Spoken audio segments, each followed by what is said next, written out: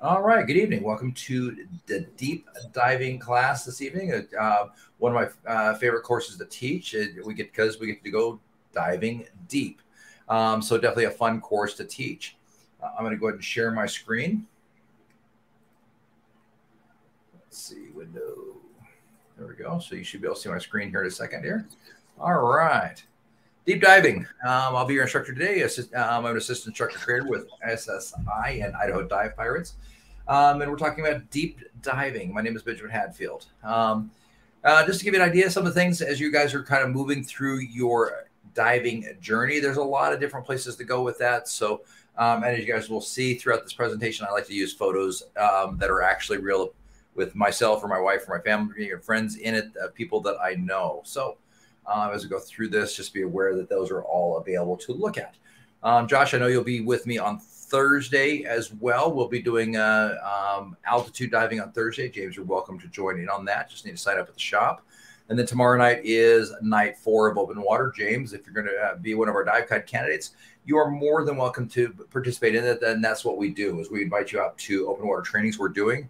Um, and any class that I've taught uh, before, you're welcome to um, audit again and uh, come out with the dives, provided I have room. Just let me know that you want to come out so that I can make sure I, I'm able to accommodate you. That's that's the only thing I ask. So, um, and as you guys go through these and take your uh, courses with me, and you go out doing your real diving, um, please make sure to send me pictures. I like to see what you guys are doing, what you guys up to, and you know, live semi vicariously through you. Um, as we go through this process this evening, I'm going to be using the SSI Diver Diamond. Uh, it starts off with I'm going to help build some knowledge. We're going to work on some skills. We're going to talk about the equipment. And I'm going to give you experience, um, both in the diving and hopefully a good experience to do this as well. So that's my two-time experience of the process. Our training works off with uh, we'll do we'll start our training. We'll do some water sessions, develop ability, learn some skills. We'll increase some confidence, evoke some conditional response, and help you become a safe diver.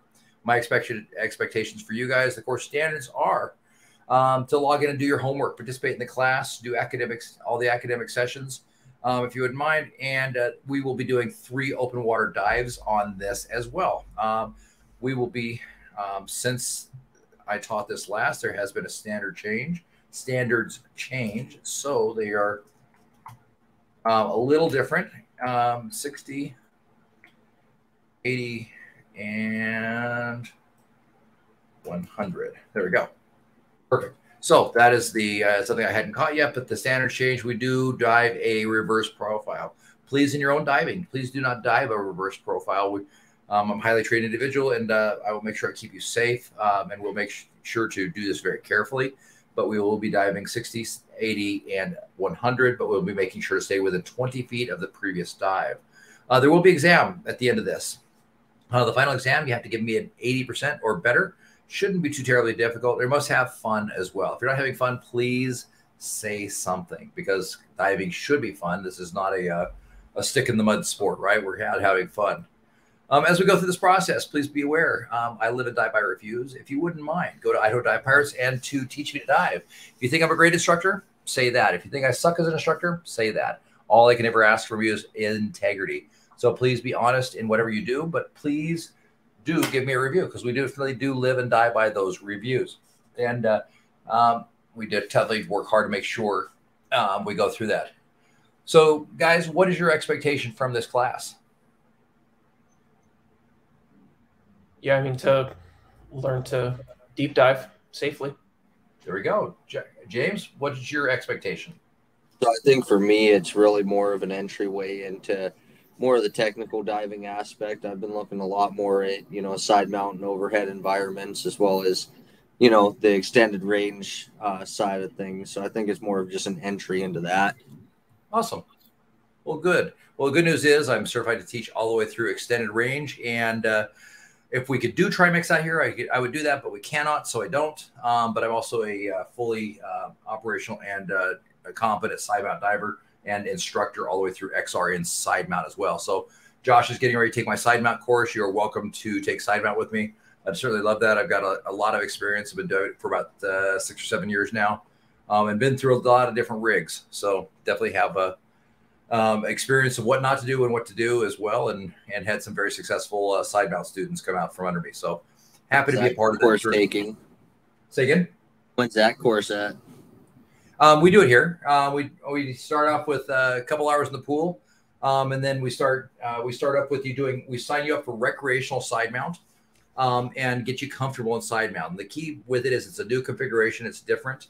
Um, uh, the shop I encourage people to do the K2. It's um, honestly the K2 in side mount is almost like cheating in side mount. It's it's the probably the the simplest and sturdiest rig that I've uh, I have personally dove, and I've dove a bunch of different rigs. Um, so we get you into a fitting um, with the K2, and, and that takes about an hour or so. And then um, I like to pull you to the pool, um, and that takes an hour or two to get a basic idea. We come back into the classroom and we start dialing it out, and then we see where you're at on that. And if I feel comfortable after two hours, we can start into open water. If I don't, then we do another pool session to make sure that you are comfortable. And then we go out to Ririe and uh, we do our dive, our basic dives out there. And then I, uh, my encouragement is to turn you loose. I'd like to see you have at least 20 to 40 side mount dives before I take you into XR in the side mount configuration because we're definitely moving into a, a more complex environment.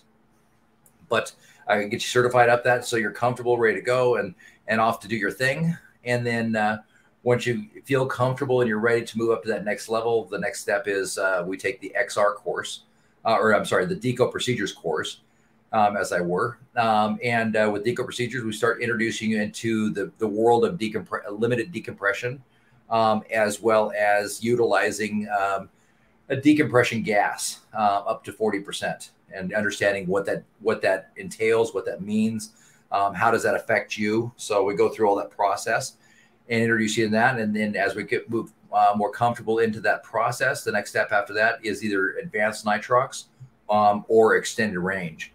Um, it just depends on where you're at when I when I finish up with uh, deco procedures, um, and uh, we'll go from there. And so when we finish up to extended range, um, that'll take you to 45 meters um, with up to an hour of deco. Um, so and you'll be able to carry uh, up to six tanks. Um, we don't generally get that get to that point because that's a lot of freaking tanks to carry, but you'll be comfortable carrying at least three to four. Very and we can get practice with that.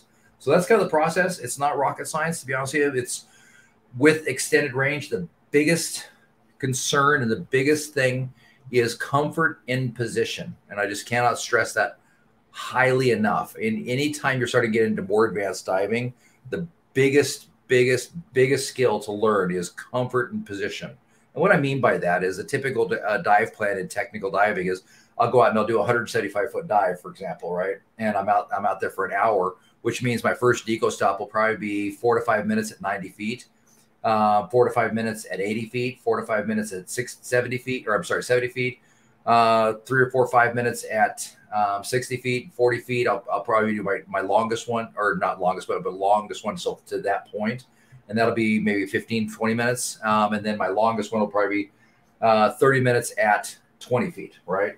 And so the thing about it is, is, you know, think about like this, turn the TV off in your living room uh, turn off all the lights and on your coffee table in exact position with with uh, tanks on your side, um, and try and do that for 20 minutes.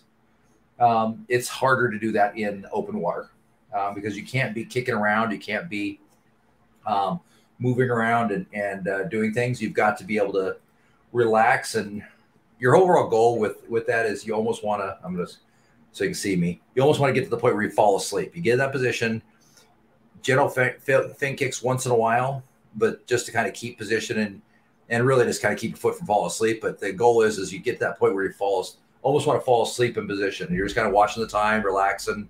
Um, you know, I have you know you have those big mental games of should I get a puppy? Did I leave the stove on? You know, things like that. Uh, you know, and you, you get a lot of time with yourself. So the secret, the other secret with deco diving is you have to like yourself because you're going to get in a position in deco diving at some point where you're sitting there for a period of time where there's really nothing to look at but ocean.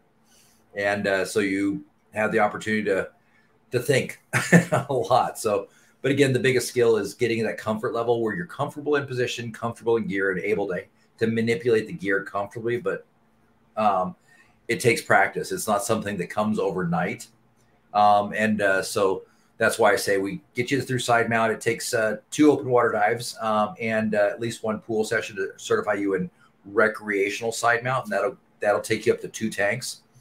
Um, and then, like I said, I want to see you out there dive 10, 15, 20 more dives to get comfortable. And then I bring you back to the pool. We do an evaluation of skills to see where you're at before we bring you to deco procedures so I can feel comfortable um, take you to the next level to see do you just need more time um, or do we need uh, uh, or, or are we ready to move on you know how have you adjusted to those to that equipment configuration it's like trying if you've never driven a standard transmission it's it's like trying to get um, to the point where you're comfortable driving a standard transmission in New York City at rush hour. So, what do you do in that initial side mount class? We do it right here at the shop. I do it live. Um, we we uh, get your D, your uh, BC in. Um, like I said, my encouragement is, is the K2, but um, I've got experience with the X Deep um, as well, so that's not a big deal. Um, I haven't tried the new um, Dive Rite Ray yet, but it's just like the K2. It's very much like the K2. My suggestion is the uh, is the K2. It's it's the in my opinion, it's the best one on the market. I've, I've tried the X Deep, I've tried the Razor, I've tried the SMS uh, 75 and the SMS 100, um, and uh, I've I, a few other Dive Rite uh, specialties um, that I've had to kind of pull around and rip apart and take apart and put back together the right way. Um, the K2 is, you know, why go second rate? It's just it's like cheating. Uh, but we'll take you an hour worth of setup and dial in and get the idea of here's where your stuff's at, and then we grab some tanks, and I keep a couple of uh, sets of aluminum 80s in side mount configuration at the shop, ready to go for teaching. We go in the pool. We I like to spend at least an hour, uh, two hours is better, just getting you to the point of comfort and, and relaxing, and make sure you're trimmed, and make sure you understand how to take it apart, put it back together, and how to lay in it, and how to how to make the key adjustments. So there's a lot of essentially once that rig just comes in, then we just go to settle it up. Yep. Okay, absolutely. Did you order a a K2 and uh, some regs? No, I haven't. I haven't looked at it yet. Okay, cool. There should be an extra pair of um, Hollis 200 LXs coming in. Um, one of my students ordered them.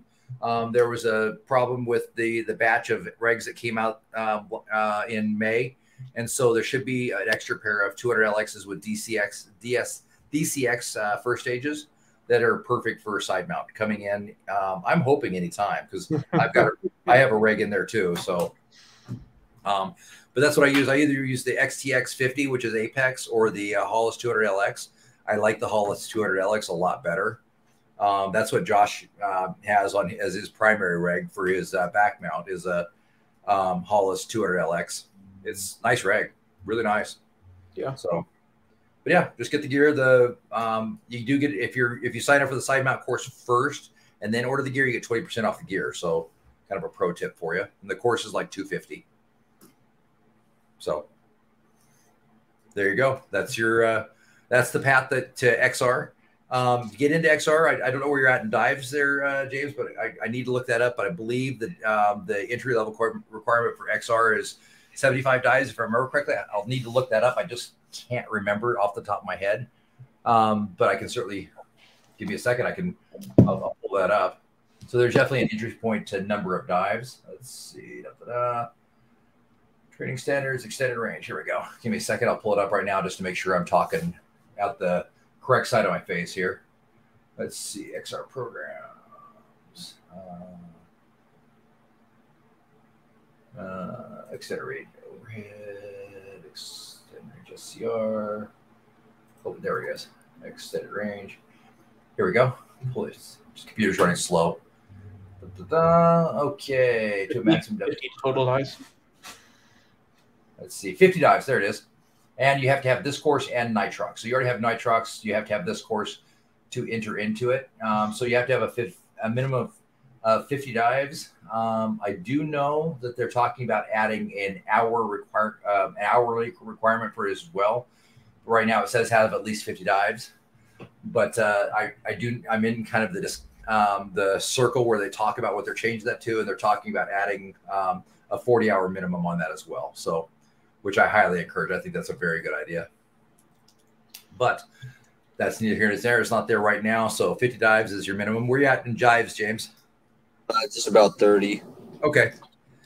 Perfect. So that um so you're almost you're almost there ready for that. But uh, with side mount, you can do side mount um, recreational right out of open water. So um, we could get you into side mount here pretty quick and and uh, start moving the rest of your dives into side mount so you can start building up that configuration comfort. It is a, it's a very different setup. Um, once you get into it, uh, it's very rare for me to have somebody say after they get into side mount, say, "Gosh, this sucks. I hate it. Um, I'll rather dive by back mount." I I honestly can't tell you anybody that I, I talk to that would rather dive back mount um, than side mount. So it's very comfortable. Um, and uh, it's just, like I said, it's just the difference between a manual and an automatic transmission. It's just very, it's just a different configuration and kind of the key is understanding it.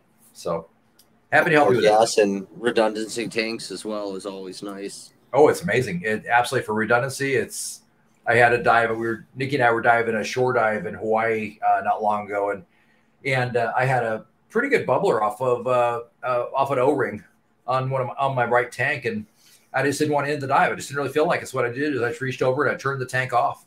Just didn't even worry about it. It's like you know what, whatever. I'll um, when I get ready, I'll I'll flip back over to that tank and I'll breathe that one down, and we're just doing a shore dive so I can get back to shore pretty easily. And so I dove for about an hour ten minutes on the on my left tank only, and then uh, got to uh, got to about uh, a thousand psi on my left tank, and I was starting to get a little off balance. So I just flipped over and flipped on my right tank, and got about an hour on the the right tank. So we were two hours and twenty minutes, but it wasn't bubbling as much as I thought it was, but it was still bubbling, and it was like, ah, why?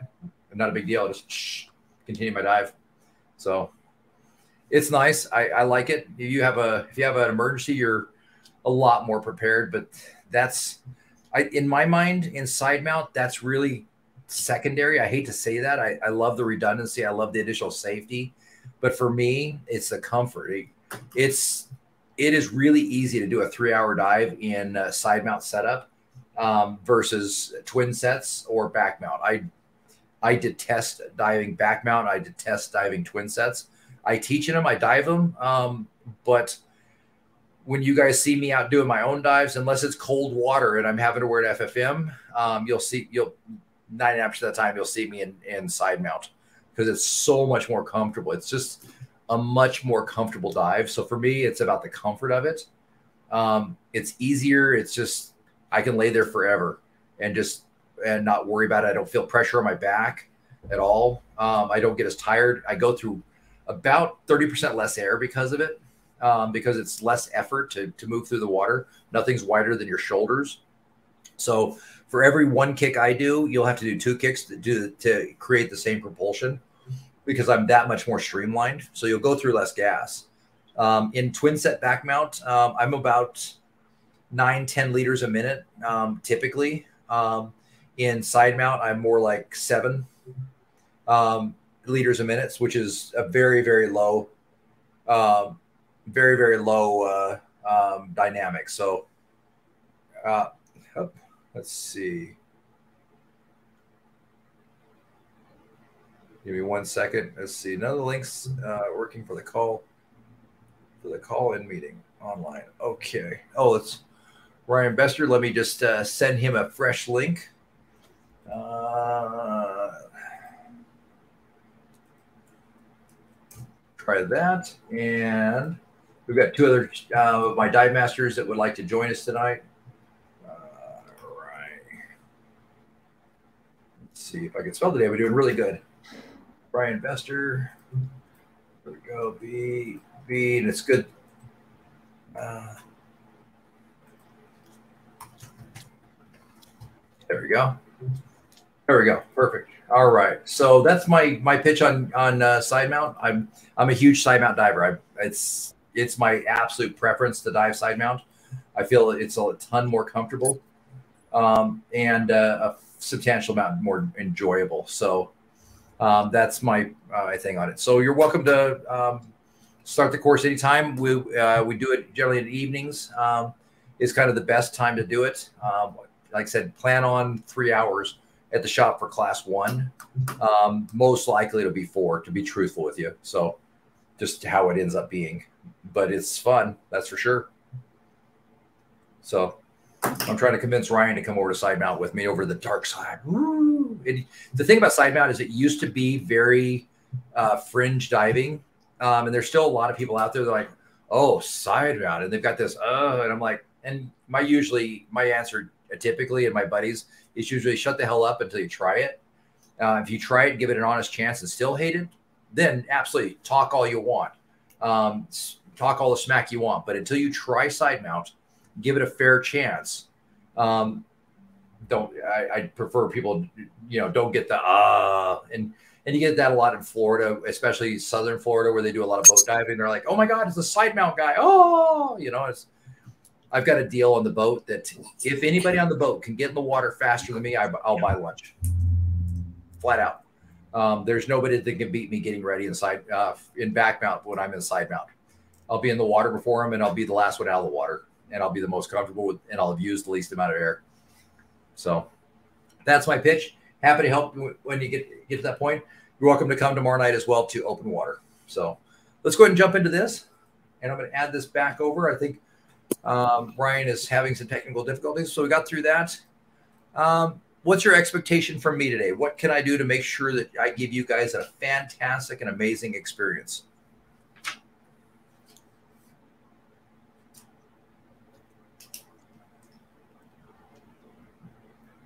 Do you guys freeze?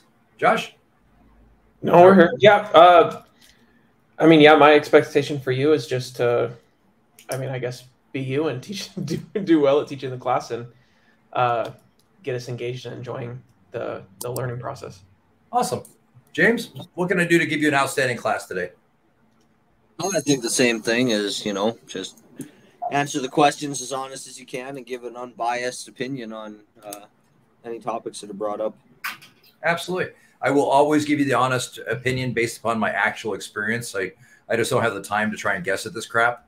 Um, and I've done it enough at this point that um, I've got a lot of experience. So um, happy to happy to help and definitely up the chain when it comes to um, the uh, the diving experience. I'm the only technical diving instructor within about 400 miles, um, as well as uh, um, I'm an assistant instructor trainer, so I'm one of the highest, one of the three highest guys in the area. So Brett and I are the same level um, in terms of open water. So there we go. And I and I guarantee I've got the most experience of technical diving anywhere, anywhere around.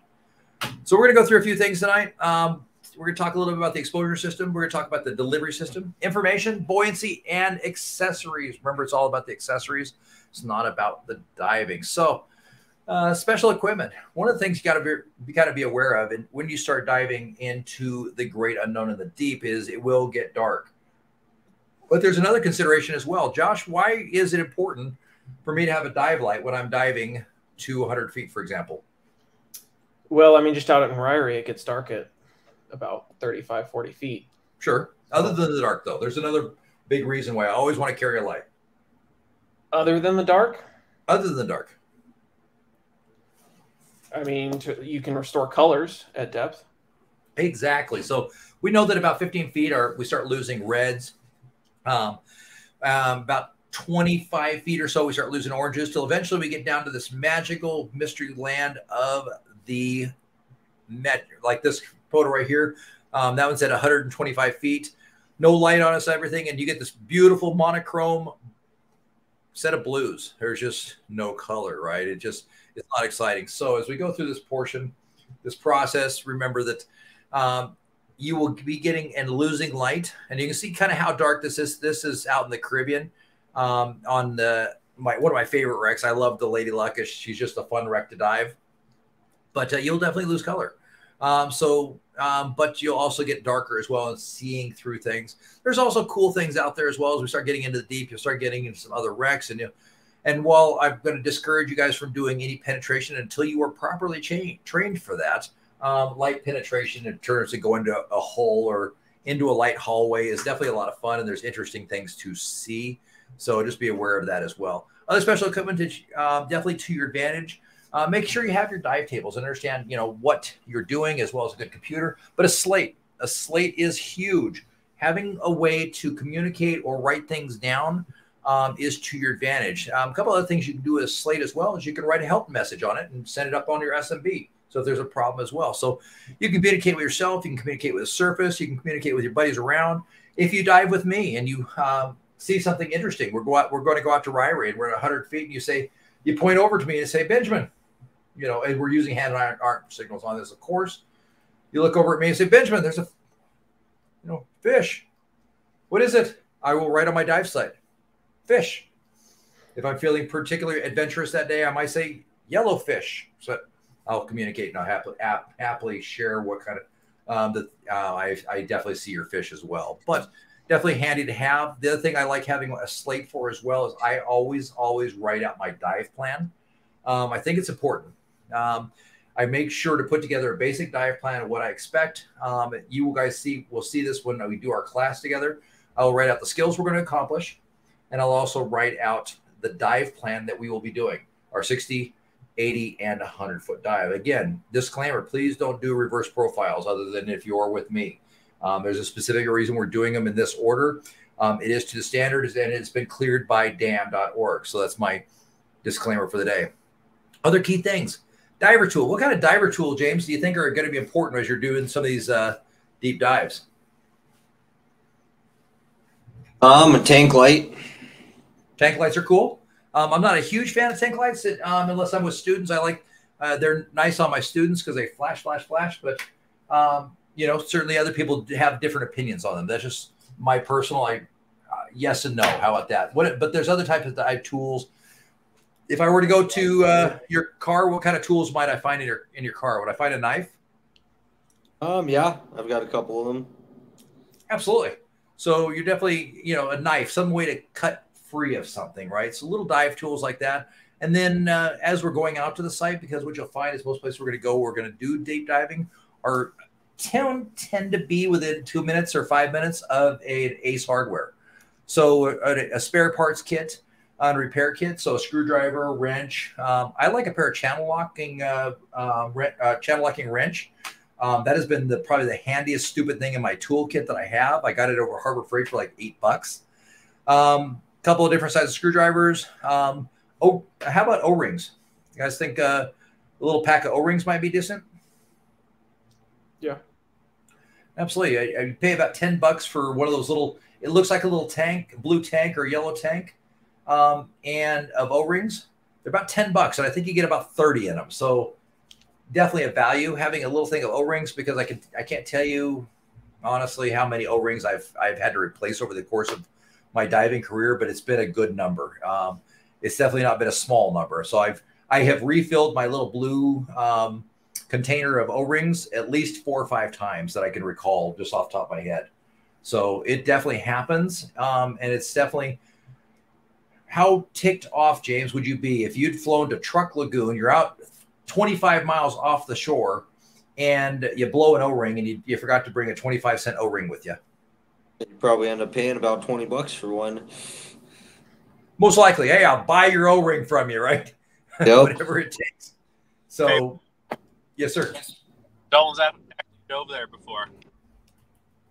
Say again? Dalton has dove there before. Oh, that's awesome. Well, Dalton's a super super amazing woman anyway, so she's far better than you deserve, to be honest with you. Oh, thank you. She's sitting here right next to me, and she just said that. She heard you talk about that in class. Oh, Amen. Oh, good. Dalton, he doesn't deserve you, but so he hopefully treats you good. Thanks, man. There you go. So, you know, you, as we go through this process, uh, making sure you have diverse tools, a, a, a dive knife, a, you know, basic ideas, a slate, um, a light is definitely going to be to your advantage and making sure you're geared correctly. You know, it's it's kind of the Boy Scout law, if you will. We want to make sure we have all the stuff to be prepared, right? Hopefully, you don't ever have to use a knife, but I, I would be willing to bet at some point you're going to have to use a knife. um, just give an idea. This is one of my one of my dive computers. Um, I keep a knife. Uh, I do a it's a caver's trick, but I keep a uh, a little uh, dive knife right on my knife or right on my dive computer on my wrist. Um, it's always ready to go. It's easy to get to, and I've had uh, multiple cases where I needed to get to a knife extremely fast, and it was right there on my wrist, and it was handy to go. So little things go a long way when it comes to diving. And I want to say one of these stupid little frog knives, um, these aqualung frog knives, I think they're about 40 bucks. And uh, this particular frog knife, I well, I wouldn't go as far to say as it saved my life, um, it has prevented it prevented two accidents that could have been that could have gone pretty bad. Um, so that's what that's what I'll leave that at. And then I, I carry a spare parts kit. Um, you can get them anywhere. I, I got mine from Amazon to be honest here for about a, uh, 150 bucks. So um, good things to have for sure. Let's see. I think we get that. The other thing to be aware of as we kind of goes through this, um, be aware all of a sudden you guys are going to start doing the, the deep dive, right? So you want to make sure you service your equipment on a regular basis. Um, the thing I have discovered about pressure is it will reveal a lot of a lot more weaknesses in your equipment than you will ever find at 30 feet. So the deeper you go, the more likely. Um, I like to call it the uh, gremlins of the deep, but gremlins of the deep definitely come out. So the more we can take a little bit of time and protect our system by making sure we do a delivery system pre- uh, check on it, make sure we're taking taking our regulator in on a regular basis or before any big trip. Saying, hey Brett, let's check the intermediate pressure. Are the uh, the seals good? Um, is there any um, any valves that need to be replaced? Is there something that needs to happen? Is is the diaphragm need to be checked? Is it you know whatever's going on? So make sure we're we're using the proper equipment and that it's checked regularly one of the things I think that a lot of people miss, honestly, is little things like the information system. Um, I have a habit that's before every uh, time I go on a, uh, a dive trip, before I leave home, I pull the battery out of my computer. I don't care how good it is. I take it out, I throw it away, and I put a brand new fresh battery in it, and I throw four or five uh, brand new batteries that I bought from the store um, in my uh, Save a Dive kit. So I've always got a fresh battery before any trip. It's little dumb things like that. Um, I also go through and I, I take the auto, uh, APVs, automatic pressurization valves, uh, or, or OPVs, uh, over pressurization valves, off my BC. I run them under clean and clear water, and I make sure that the the seal is good, that it's and it's nice and rubber soft seal. Um, I make sure the springs aren't rusted or goopy. Um, I make sure that they're they're clean and free, and I also make sure that there's nothing in inside my BC because I mean, who wants to travel with a quart of water in your BC anyway? But I make sure it's clean and dry and that there's no tears in my BC. So I do a full visual inspection of my my BC uh, to make sure everything's good. I make sure the straps are in good condition. There's no tears or rips. But I do a visual inspection of that. And like I said, I take anything that can come off, I rinse it, and visually inspect to make sure it's in good condition.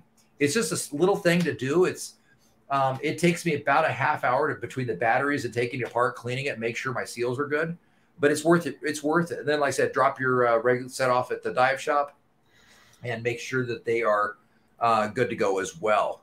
So little things like that. Um, and again, like I said, the uh, the gremlins of the deep are uh, amazing. The deeper you go, the more gremlins you will find. Um, and it's interesting how that happens. I I've the only time I've ever gotten a knot in my uh, my finger spool is at 150 feet. I've never had a knot in my finger spool at 30 feet, 50 feet, 70 feet, 100 feet. The only time I, and it's happened to me twice at 150 feet where I've gotten a knot in my stinking reel spool, right? Not my reel, but my spool, my finger spool. So it's amazing that the only place this has ever happened is at 150 feet. So you judge for I, that, and I have a hard time blaming that on a pressure. I blame that purely on the uh, the depth. So um, does that make sense, guys? Yep. Yep. Absolutely. Roger that. Okay, good. So as we start getting into deep diving, we want to make sure we we take a little bit of time to repair. So the main way we can avoid accidents, guys, is plan our dives and dive our plans. It's just that easy. Now, Ryan, you've been deep diving with me, and you took my deep dive course. What's one of the things we do before we start going out and do a deep dive? Um, we make sure do uh, kind of broke up on me. Try that one more time. Ask your question one more time again. No worries. So you uh, last summer when we were going out and doing our deep dives together, what's what what is something we did before we did our deep dives together? Uh, we make sure we had all of our equipment ready to go. We uh, made sure that each one of us were comfortable doing a deep dive, and we kind of mapped out what we are going to do, how deep we are going to go, and then how long we are going to stay down there. So basically, our bottom Absolutely. time, and then mm-hmm. where we're going to come up, and if we're going to have different profiles coming up. kind of went over that dive plan. So absolutely, uh, we mapped out our gas requirements as well, didn't we? Yeah, that too. Yep. How much gas we have with that gas. Absolutely. So we took some time, and that's one of the big things um, that I can tell you with any any type of diving you should do. But the nice thing is, if you're going out and doing uh, you know 30, 60 foot shallow reefs, it doesn't require as much planning. I mean, you, if you're um, if you're talking about hiking and you're going to hike through um, Kate Curley Park or, or uh, Tautphaus Park, not a lot of merge situations going to happen that you can't handle in Tautphaus Park. But that becomes very different if you're going to hike to the top of Mount Borah, right? Um, you, there's definitely if you try to uh, prepare for a Tautphaus Park, but you do Mount Borah, it's going to be very different. If something happens at the top of Mount Borah, bigger problems happen. So we want to make sure we talk about this ahead of time. We start taking into considerations things like support personnel. If if something happens, who's there to support us? How are we going to support that? Simple enough. Um, how, what happens in emergency? Um, where where that where's that going to come from? The next piece is, is as we start getting ready to go deep, we're going much deeper than you guys are accustomed to. How are we going to get there? Now, my personal favorite way to do this is to typically go down a da- use a down line. I like going to the end of the dock, swim over to the down line, and just go straight down the down line. But not everybody's comfortable with using a descent or um, an ascent line, as, uh, and uh, they don't have that opportunity um, sometimes as well. It's my favorite way to do that. And if you do wrecks in Florida, that's a lot of time the only way to do it is uh, to go down the buoy line. So you need to be plan on that. The nice thing with Ririe is that you can also do a very easy sh- um, the shore. You just take the shoreline down and fall it out. But you need to, you know, kind of prep that uh, that dynamic as well. So guys, there's there's uh, we'll just say there's three of us: Josh, James, and, and me. Um, where should I we place the most experienced diver? There were three of us going down a line. Where do we place the most experienced diver? Back. I'm sorry, say again. In the back. At the top at the line? Okay, that's yep. one answer. Josh, where should we place the most experienced diver? Yeah, I mean, I think they both have pros and cons, but probably probably the back, so they can actually see what's going on. At the top of the line. So put we send our least experienced diver down the line first.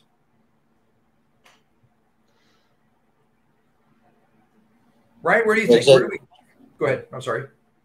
I was going to say, I mean, you've got observation of everything. You can easily descend faster if you need to in order to catch up. You can still gain communication. If you're going down first, it's harder to look up than it is to look down. Okay. Ryan, where do you think? What is, what's your thought process would, on this?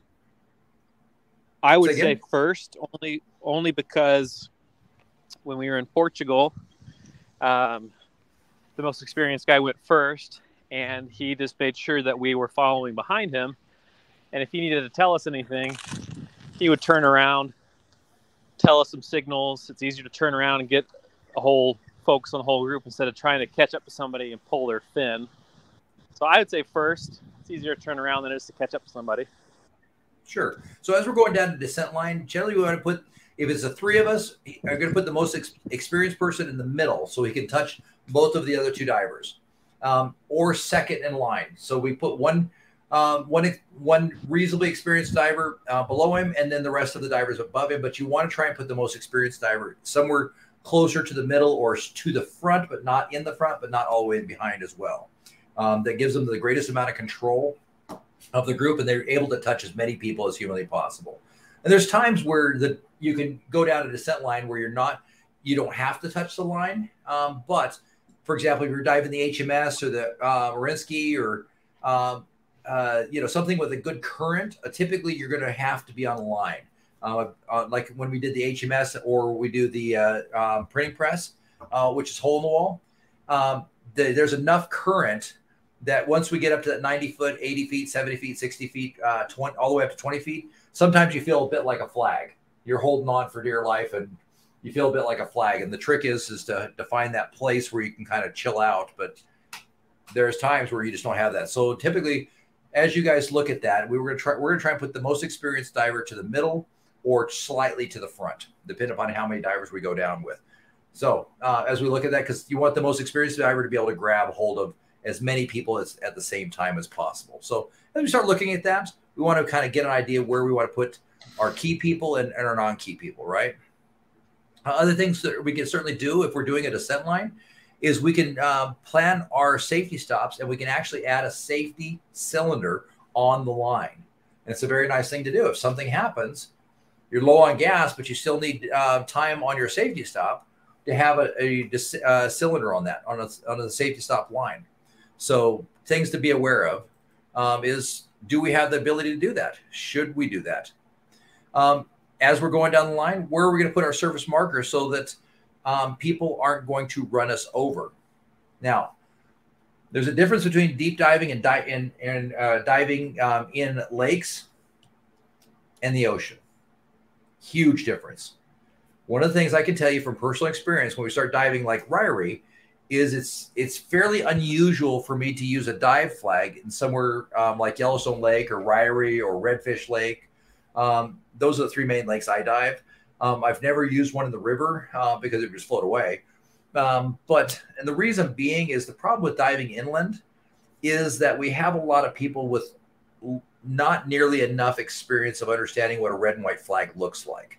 When they get curious, and in my opinion, I feel that a dive flag become creates a safety uh, safety risk for my divers because it, it, it draws the boats over to them instead of repelling them away. Now in the ocean, a dive flag is a whole different thing, and and people understand that they have to stay at least 300 feet away. Um, that's and by the way, that's the state law for Idaho, and the and this the uh, Coast Guard law as well. That if you see a an alpha flag or or a dive flag, um, that you have to stay 300 feet away um, because you're endangering the divers. But you definitely want to make sure that we understand what is uh, what does a surface marker look like as we start doing this. Um, what is what's one of the uh, the biggest dangers, um, Josh? If we're doing a deep dive, we, um, what's probably one of the bigger dangers that we might face as a deep diver? Um, I mean, nitrogen narcosis. Nitrogen narcosis, absolutely. What's the other one? There's two of them that we need to worry about. Uh, DCS. DCS, absolutely. So DCS is the more prevalent that um, that I have concern and top of mind, but I would argue that nitrogen narcosis is more dangerous. So uh, because we're more likely to find it and more likely to happen to us, the one that comes top of mind, we we uh, we worry about DCS. So the other thing we need to worry about is if we want to treat either one of those. What James? What's the treatment for either one of those? Right from the dive book. Um, oxygen. Oxygen, absolutely. So as we go and start doing these deep dives, we want to make sure we know where there's oxygen to get to, right? Now the good news is when you guys dive with me, as the instructor, I I have two bottles of oxygen in my truck at all times. There right now. Walk out there and grab them. And I've got it. So I have enough oxygen for two people for up to an hour, which is about enough to get get you anywhere we need to go. So I can I can treat two divers simultaneously or one diver for two hours. So but we want to know where is that auction at? So, Josh, if we're coming up a shore, um, what are some some of the problems that could happen coming up a shoreline? Uh, coming up a shoreline? Sure. Yeah.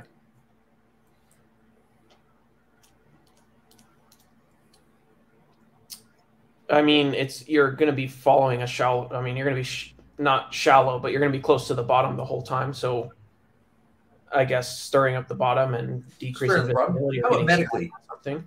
How about medically though? What are some of the problems that could happen coming up a shoreline?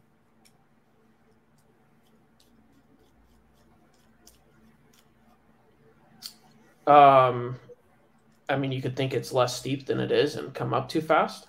You could. That's certainly something. It's not a typical, but how about sharp rocks or sharp, sharp objects or or uh, things that'll sting you, bite you, um, cut you? Sure. Absolutely. Um, it's more common than most people realize. Or how about a wave, a random wave? You ever uh, anybody in the ocean and um, go out uh, body surfing or goofing around in the in the waves and and get hit by a random wave that you didn't expect? Am I the only one? James, how about you? You ever been hit by just a random wave just out of the blue? Well, absolutely. Yeah, it's kind of scary, isn't it? Uh, what if there had been sharp rocks or um, uh, or sea urchins there. I mean, that could have been a, not a good situation, right? Been there too.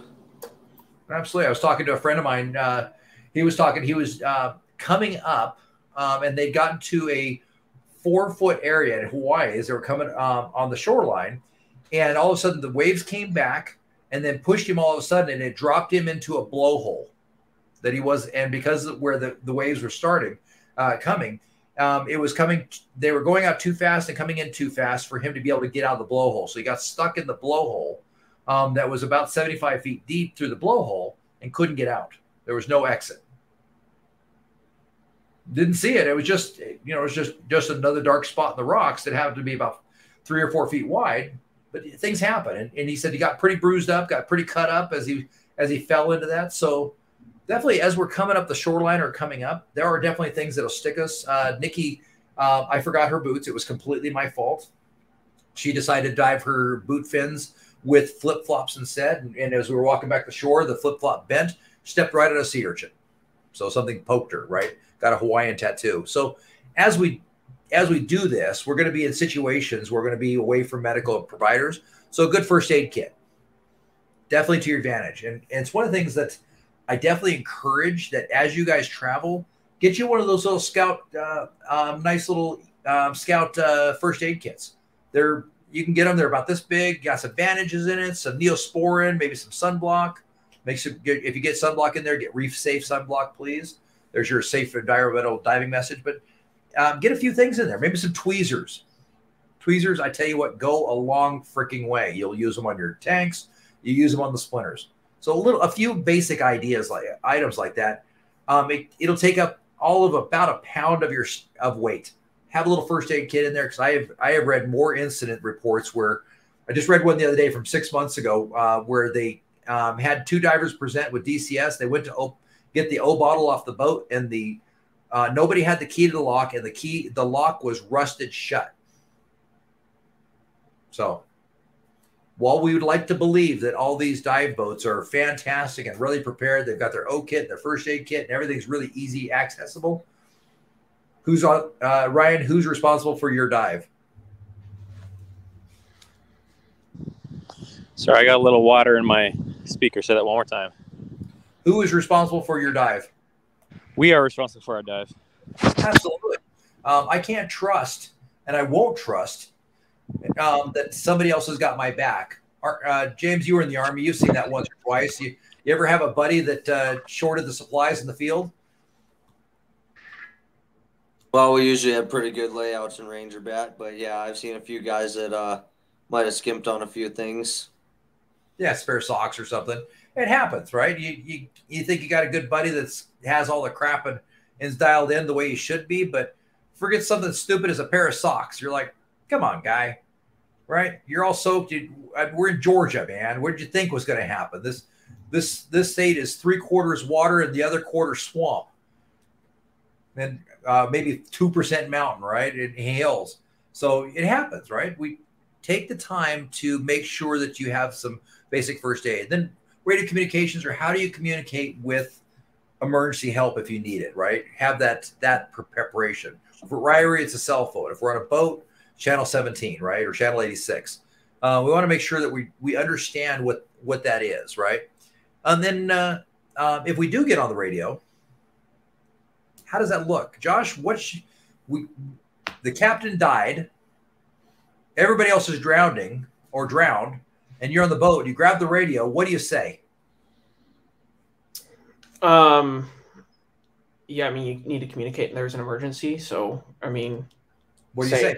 Clearly communicating what happened and what kind of help you need. Um, where you know your location, any any other information you have. Good. So the key words is Mayday, Mayday, Mayday. Um, that's the, the first thing out of your mouth. And then you're exactly right. We have an emergency situation at this location. This is what I see because you probably won't have grid coordinates for it or GPS, but at least try and get them to where you're at. We're on this boat. We're here. We're here's what's going on. The captain just died of Ebola, and uh, everybody else drowned because they were eaten by manatees, whatever it is, right? But be clear Good job. That's exactly right, though. And then finally, we want to make sure before we do our dive, like we talked about, dive your plan and plan your dive, have an accident management plan ahead of time. What happens if? What happens if this happens? What happens if that happens? So, those are some of the key pieces of this um, that uh, we want to be aware of and how that works. Make sense, guys? Yep. So in open water, guys, I certified you guys to dive how deep? 60 feet. 60 feet, exactly. So as we go through this process, um, we really kind of look at three different kinds of dive profiles. Your general open water dive, dive profiles are going to be your zero to 60 feet. That's going to be your fun reefs, easy dives, light drifts, no big deal, right? Um, I like to call them the, you know, the Tautphaus park. I usually call them Central Park um, uh, dives. They're they're pretty simple. They're pretty easy to go. But we have the next level of dive where we start getting into that that next potential of issues. Um, we start 18 to 30 meters or 60 to 100 feet. And in that process, we started to get into a more dynamic idea of having to make sure we're doing a safety stop, making sure we're taking t- taking into account a slow ascent. We're taking into account um, additional pressure and the pressure gremlins that definitely arise through that process. And then finally, we start getting into those adventure dives. And for you guys, those adventure dive levels are really going to be that 100 to 130 feet um, as we start getting down. So we start need to make uh, start making uh, basic preparations and understand what does that look like? What is that going to feel like? So interesting enough, there's a, a study out, and this is from DAN, and they, they came up with the idea. They they started studying can we build tolerance to nitrogen narcosis? What do you guys think? That's a yes. Just like anything, the more you utilize it, the more your body's gonna react to it. Okay, Josh, what do you think? Tolerance build up to nitrogen narcosis? Yeah, I think I think you could build up a tolerance to it. I don't think you could ever completely get rid of it, but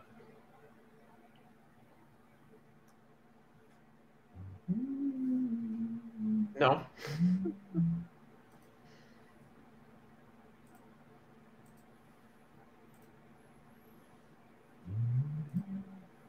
You there? Yeah. Okay, sorry, I missed your whole answer. Can you build up a tolerance to nitrogen narcosis? Yeah, I mean, at the very least, I think you can learn to recognize it more in yourself, but I think your body will probably, you know, learn to tolerate it the more you do it. But I don't think you'll ever, you know, fully be immune to it. Okay. Ryan, what do you think? Tolerance to it? I'm going to be devil's advocate and say no. We may have lost Ryan. Can you hear me? No, he's he's here. Oh, he's talking? Yeah, Can you hear me, Ben? That's funny. I do not hear him at all. How about now, Ben? There we go. I can hear you now. Yay! What do you think, Ryan? What's your thoughts process? I said I'm going to play devil's advocate and say no. We cannot build up a tolerance to it. Well, you would be in line with the current research. The current Sweet. research says that uh, we don't so much build up a tolerance to nitrogen. We overlearn skills and proficiencies at those skills with experience to be able to overcome them. So, it's it, the idea is is that um, we don't become um, tolerant to alcohol when we're dive or when we're drinking. What we do is become good at understanding the tasks that are required of us. Is that's the late now that's the latest research from DAN. Um, it's certainly it's it's a debatable subject, but what we're finding is that um, I'm not going to give you a, help you build up a tolerance to it. I'm going to help you build up an understanding of it so that you'll understand what it feels like, how to prepare for it, as well as the skills that you are using while diving to that depth that you're more um, uh, adept at them and you're able to handle those skills more naturally through muscle memory. Now, on the argument side of that, um, in reading a, a recent article about Sheck Exley, and I don't know if anybody here uh, knows that name or not, he was a world famous cave diver, probably the most famous cave diver ever. He died in a cave accident at 806 feet in a cave. But in when the doctors did a physical examination of Mr. Exley, they determined him uh, to be extremely uh, nitrogen tolerant. So it was definitely interesting to see that in the medical reports that uh, Sheck Exley was extremely nitrogen to- uh, tolerant. Now, interestingly enough, we do have uh, Sheck Exley to thank for one piece of dive gear all of us carry. Anybody know what that is? Just trivia for fun for today.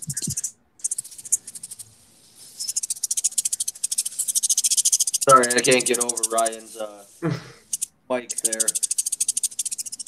I can fix that. There we go. So the Sheck actually did one did something for the diving uh, that we, we can all thank for and we all carry. What's what do you think Sheck actually added to diving?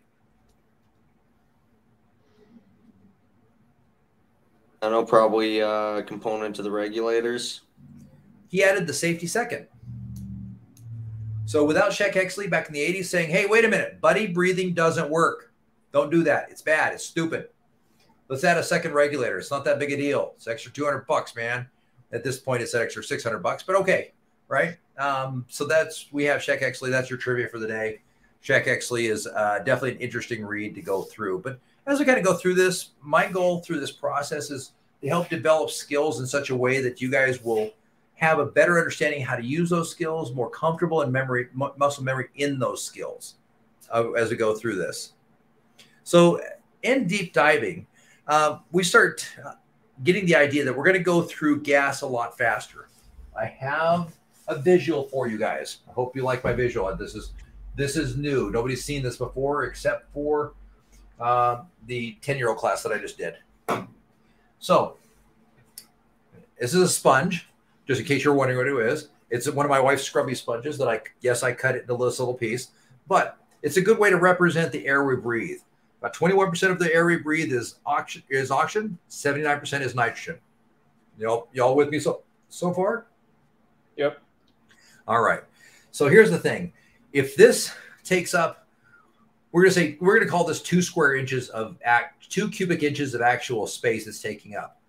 If we go to 33 feet, now we can fit because it uh, because of pressure, it squeezes it. We're now able to fit two sponges, two molecules of the air we breathe into the same amount of space. Make sense? If we go to 66 feet, we're able to fit three of these molecules of the air we breathe into the same amount of space. You guys copy with me? Mm-hmm. Okay. Now, if this is one cu- or two cubic inches, and this is two cubic inches, and this is two cubic inches, it takes up. It takes me a lot longer to use uh, to use this, but if it's all together in this, I can go through a lot more of these much, much more quickly. So what I'm saying is that at the surface, I go through two cubic inches of air. At 66 feet, I go through six cubic inches of air because it compresses.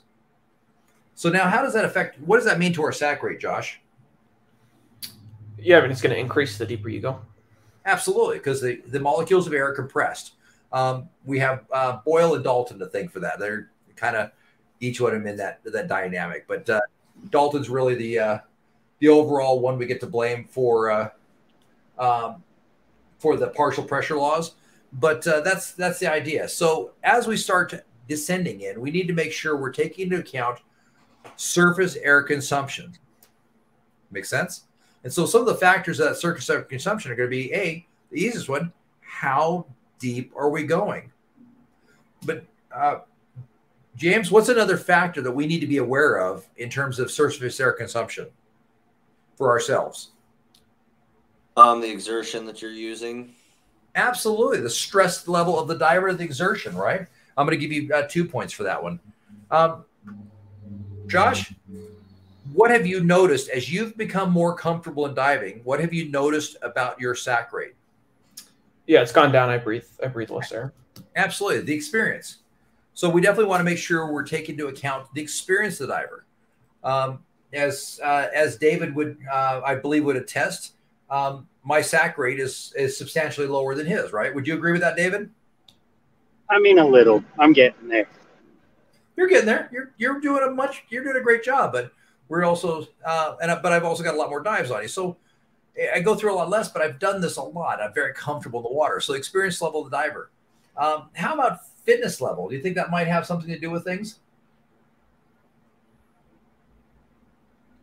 I don't know. Brett does pretty good with uh, his sac rate too, and he's a little bit rounder than I am.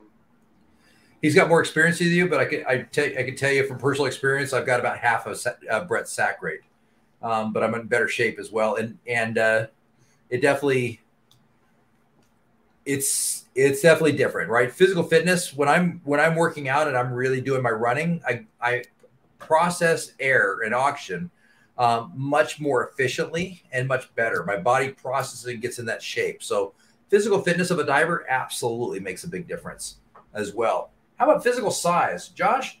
If you and I were the same amount of ex- experience, because you're a little bit bigger than I am, but not by a lot, do you think we'd still go through the same amount of gas? Um, I mean, yeah, the bigger person most likely has bigger lungs too. So absolutely, my wife goes through less gas than I do because she's smaller. Um, it just is what it is. My lungs are about 2.2 liters. Hers are about, and mine are probably about the average male. Um, the average female is about 1.8 liters.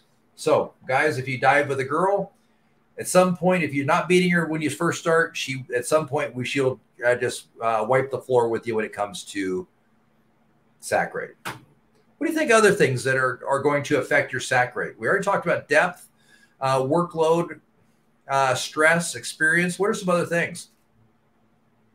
Uh, food, what you eat, what you drink. Absolutely, absolutely is a, a, one of the things. That's a, a good one to bring up. Uh, for example, a good one to kind of be aware of: Gatorade. Gatorade is a really bad one to drink before a dive. Simple enough. It plumps up the walls of the blood cells that carry oxygen and doesn't allow it to trans your body to transport oxygen through your system because they're all plumped up with liquid as easily. You will reduce your sac rate by drinking Gatorade. So there's your pro tip for the day. That's something that uh, you'll probably never see Gatorade on a tech boat. Um, at least I've never seen Gatorade on a tech boat because that's kind of a, one of the inside secrets of tech divers, right? Um, breathing habits is another one. And then um, depth of the dive. How about temperature? Um, do you think temperature has something to do with it? is there an alternative to Gatorade that they do have on tech boats? Uh, water. Just water. Just water. It's the only thing you'll ever really see on a deck boat. You might see juice like Kool Aid, um, because uh, but uh, you'll you just see everybody's drinking a lot of water. Um, it's the very best thing for your body. It's you're adding less least amount of chemicals to your body and sugar. Um, it's just that's the absolute most common thing. Now, oddly enough, the most common snack food is either Ritz crackers or Oreo cookies. I or Chips Ahoy. I've seen a lot of Chips Ahoy too. Those are the three most common um, chips that I see on a dive boat. And I, but I don't know why that one is. That just that's like industry wide. It's probably because they're cheap and they're easy to get. Would be my guess. Um, and you'll see a lot of oranges. I, but you'll never see a banana. You should, at least on a on any real dive boat or any any real boat, you'll never see a banana. So, so anybody know why that is? There's there's an absolute reason for that. Potassium. Nope. Why you why you'll never see a banana on a dive boat or that you shouldn't? Because of the potassium in them. Why do you think the potassium? Uh, potassium does all sorts of things for the transport of your blood. nope. So I don't know what it has to do with diving, but I have to assume that it it causes an uptick in transporting something. Nope, not at all. That has nothing to do with the potassium. I want to see what your thought process. I was just curious. Josh, why do you think you don't see a banana on a dive boat? Yeah, I mean, I would have went with David on potassium just because it. Uh, I know potassium is one of the chemicals that uh, affect neuron firing. No, I, I, um, I love trivia like this. James, do you know? Um, it's probably got something to do with high blood pressure. I'm assuming. No, it's bad luck. Um, if you have a uh, if you have a banana on a boat, um, the boat will die um, and won't start or get stuck somewhere. And the reason being is back in the 1800s when they were transporting bananas, you put enough bananas together, they create a ra- radioactive charge, and they would cause they cause thyroid cancer to the sailors. Um, but the sailors didn't know that that was what's happening because they didn't understand what radiation was in any way, shape, or form. All they knew was that bad shit happened when they put a bunch of bananas on a boat. So to this day, bananas are bad mojo on boats. So there's your useless fact of the day. Uh, enjoy, um, share that, share and uh, trip with your friends. So let's talk about that. I'm going to add that to my boat diving course. There you go. It's a good one. It's and it's absolutely true. Look it up. Um, so, and I have been on boats where somebody brought a banana on and the captain flipped out, grabbed their banana and threw it off off the board. They they looked at him like he was crazy. He says, "You don't bring a goddamn banana on my freaking boat." I mean, he tossed it hard too, like it was a grenade. I was like, nice. but so, pro tip for you today: don't take banana on a dive boat unless you want to piss off the skipper. Um, and the skipper's the last person you want to pick, piss off because he is the one picking you up after the dive. And I'm just saying it's a long swim usually to shore, so be aware. Let's jump back into it. But temperature of water, Dave, you've dove cold water with me a little bit now. Cold Oh, water sac- sac rate a little bit. Oh, it, it has a tendency to do. Absolutely. So as we go through this and we start doing our dive planning, we definitely need to make sure we take into those accounts. What is it going to take to plan our dive correctly? How is the sac rate going to look? And what are we going to do to make sure that we're uh, building our sac rate correctly? Right? Does that make sense, guys? Yep. So I'm going to, let's see. Oh, dang it. You ever accidentally click on something by mistake and you're like, dang it, I didn't mean to do that. All right, Ryan is obviously back. There we go. Sorry, I, I closed my little presentation by accident, complete accident here. So let's see. And now I can't get off this slide. What heck? There it goes.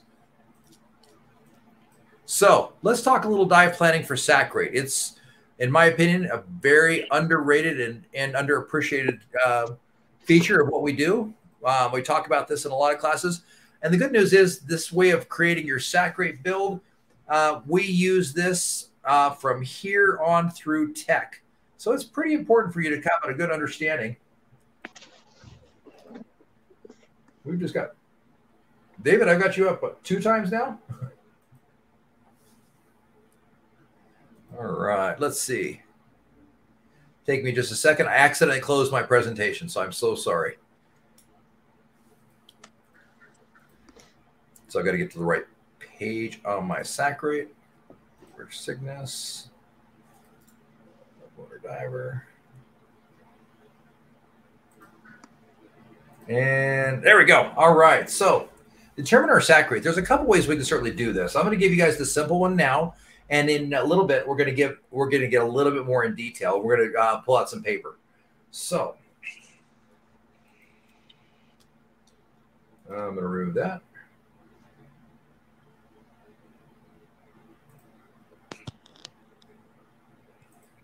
What the heck is going on with that? That's weird.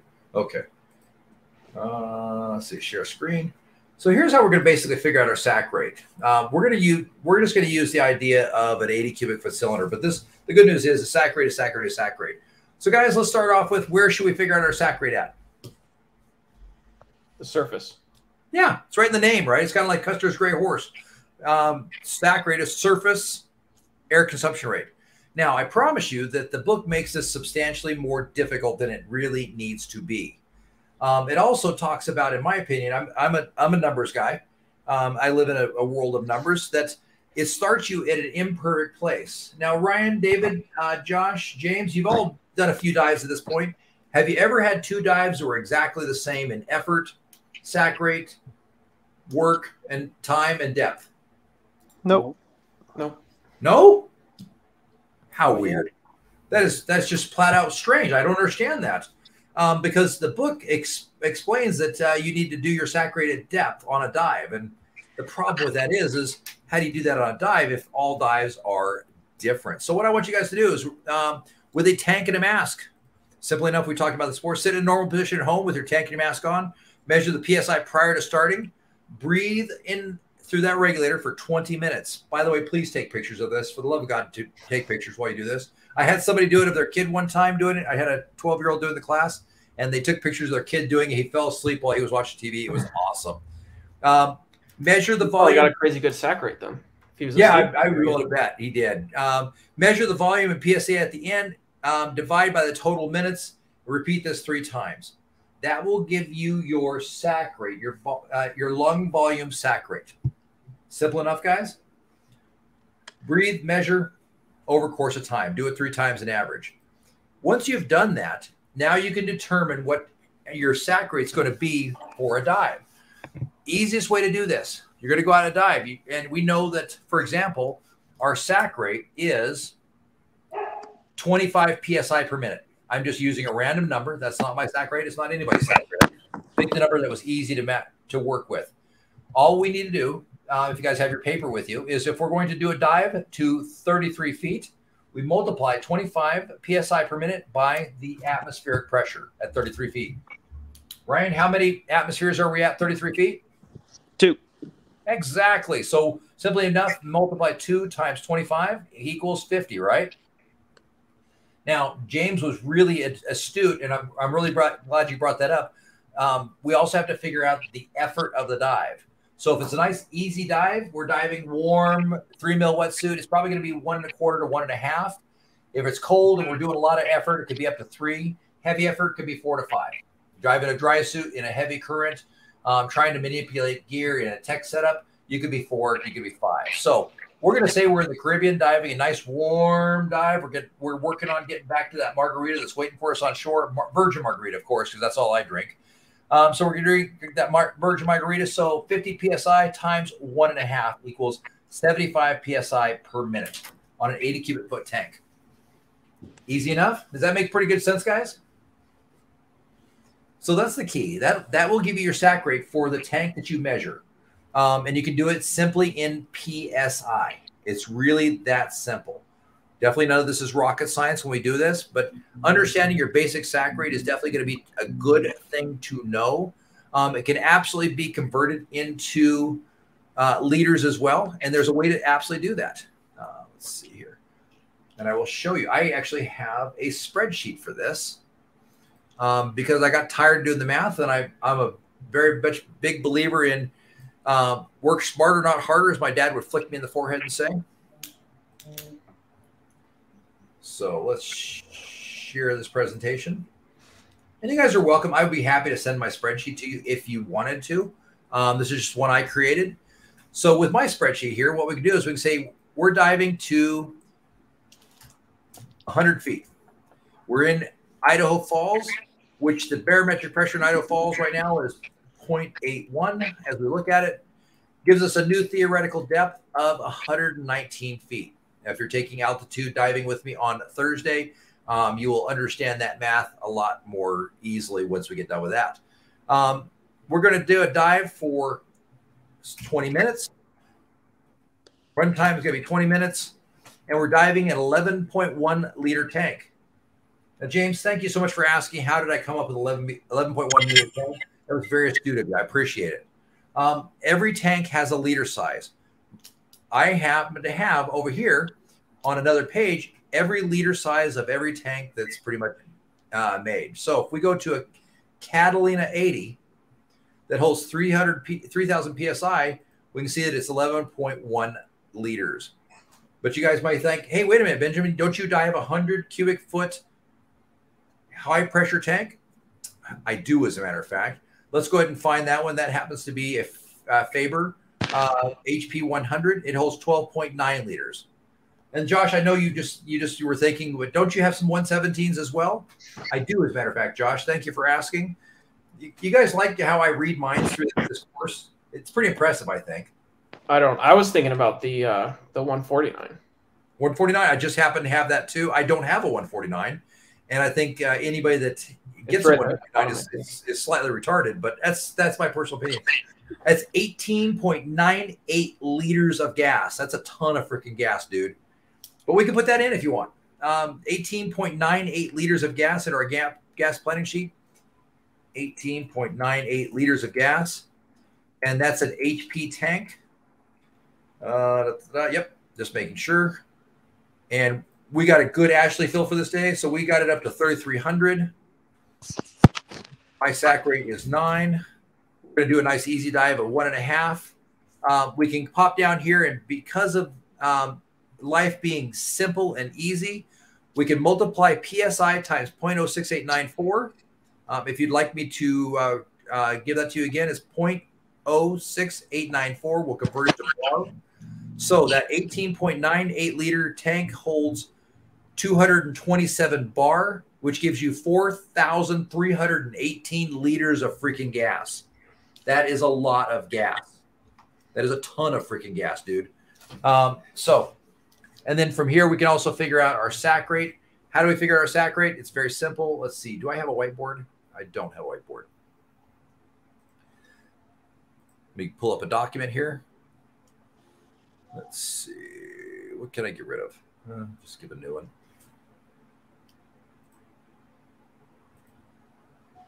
And if I'm getting over your head, guys, say so. Please, please, please.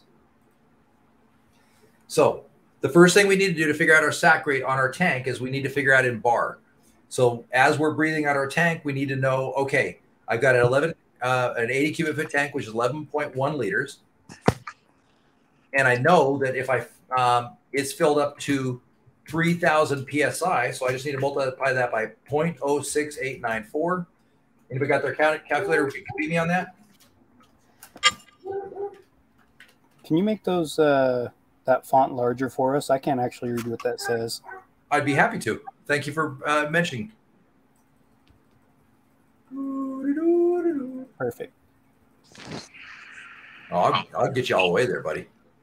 So uh, 0.0694 equals 206.82. 206.82 bar. So we're going to round down to 206 bar. How many liters in this tank? Here's where it gets easy we're going to multiply 11.1 times 206 bar. So 206 times 11.1 equals an 80 cubic foot tank has 2,286 liters of gas in it. Now, you might be wondering why would we want to know how many liters of gas in any tank that we're breathing is, right? Are you guys asking that same question? No, I nobody wants to know. Okay, we should be, uh, because here's why: is if I start off with 2,000 psi in my tank uh, when I'm doing this uh, calculation that we just talked about, and I end at 1,500 psi, I can say, okay, what does that equal out? So times 0.06894 equals 2000 times 0.0694 equals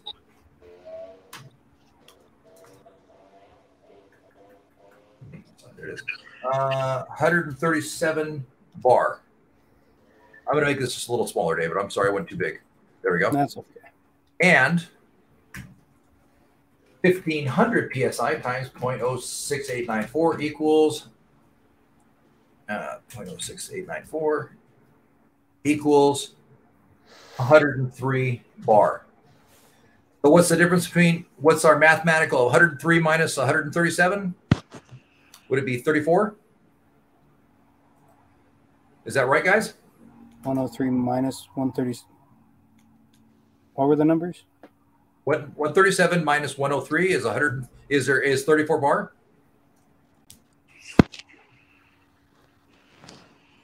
Thirty-four. Right. 137 minus 103, we'll just say is 34 bar. Easy enough.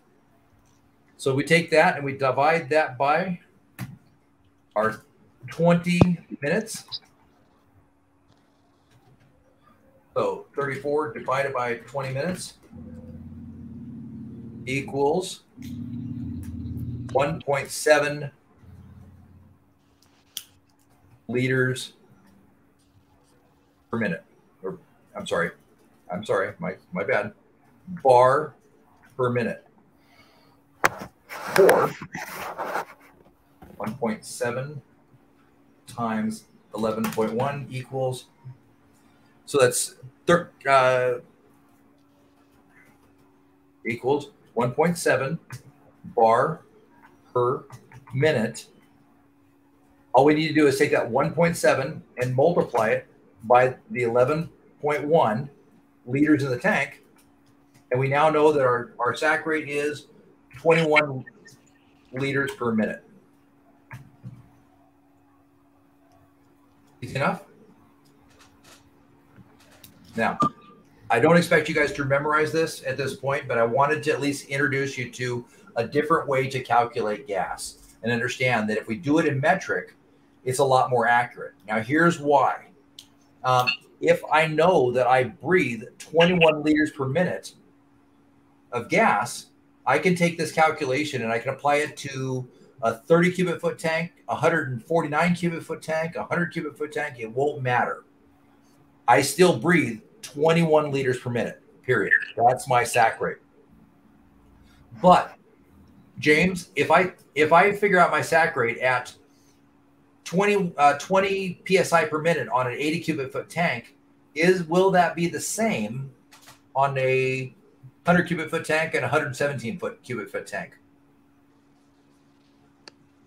Well, your consumption rate is going to be the same. But will I go through 17 psi a minute? If my if my sac rate is 17 psi a minute, period. I No, know your- that is. Will it Your be PSA 17 rate that you're breathing is going to be less. It's going to be reduced because you're going to have higher compression in it. You're going to have a higher volume. Yeah, you have higher volume. So I can't use that same 17 psi a minute from a 80 cubic foot tank to a 100 cubic foot tank to a 117 to any other tank. I can only use that that 20 psi per minute that I've come up with in my living room on the on the same size and dynamic tank as what I did my test on. So what if you didn't use psi per minute, but you used cubic feet per minute? Because bar is the equiv- is the metric equivalent of psi. Unfortunately, the math doesn't add. It doesn't come out the same. So play with it. Absolutely, go go forth and play with it. Uh, what you'll find is the it doesn't it doesn't equate out the same um, as when you pull it to bar and liters. So doing it in bar and liters is substantially easier, and it actually adds through every single time. So go through and play with it. Absolutely, I, I definitely encourage that. But what I did is, if- you guys would like, I've got a, uh sac um, a gas planning worksheet as well as a sac planner. If you guys go out and do a hundred foot dive, yeah, I had one two zeros. If you do a thousand foot dive, a hundred foot dive, and the average depth of your dive was sixty three point two feet, and you dove for you know forty two minutes on twenty one percent oxygen, and your work factor was one point five, your your tank size was eleven point one. You started at 3,600 and ended at 2,000 psi. Your liters per minute will be 4.62. Your average liters per minute will be 6.39. Total psi per minute at depth was 8, P- 8 psi a minute. So it'll give you everything that you need. There's a few other uh, calculations in here that uh, you guys aren't ready for, to be honest with you. And one of them is your equivalent narcotic depth. In case you're wondering what um, end in meters was, um, that's your equivalent narcotic depth. Um, it's for a later class when you can start getting in depth into tech. Again, I don't want you guys to memorize this, but I want you at least to be exposed to the idea that as we build up our SAC rate, we need to make sure that we understand that when we do our SAC rate calculations, that it won't be to every cylinder we might dive. It'll be to the cylinder that we measure. Does it make sense? James, you, you copy? Or did I lose everybody? I'm here. No, we're here. Okay, just making sure I, every copies.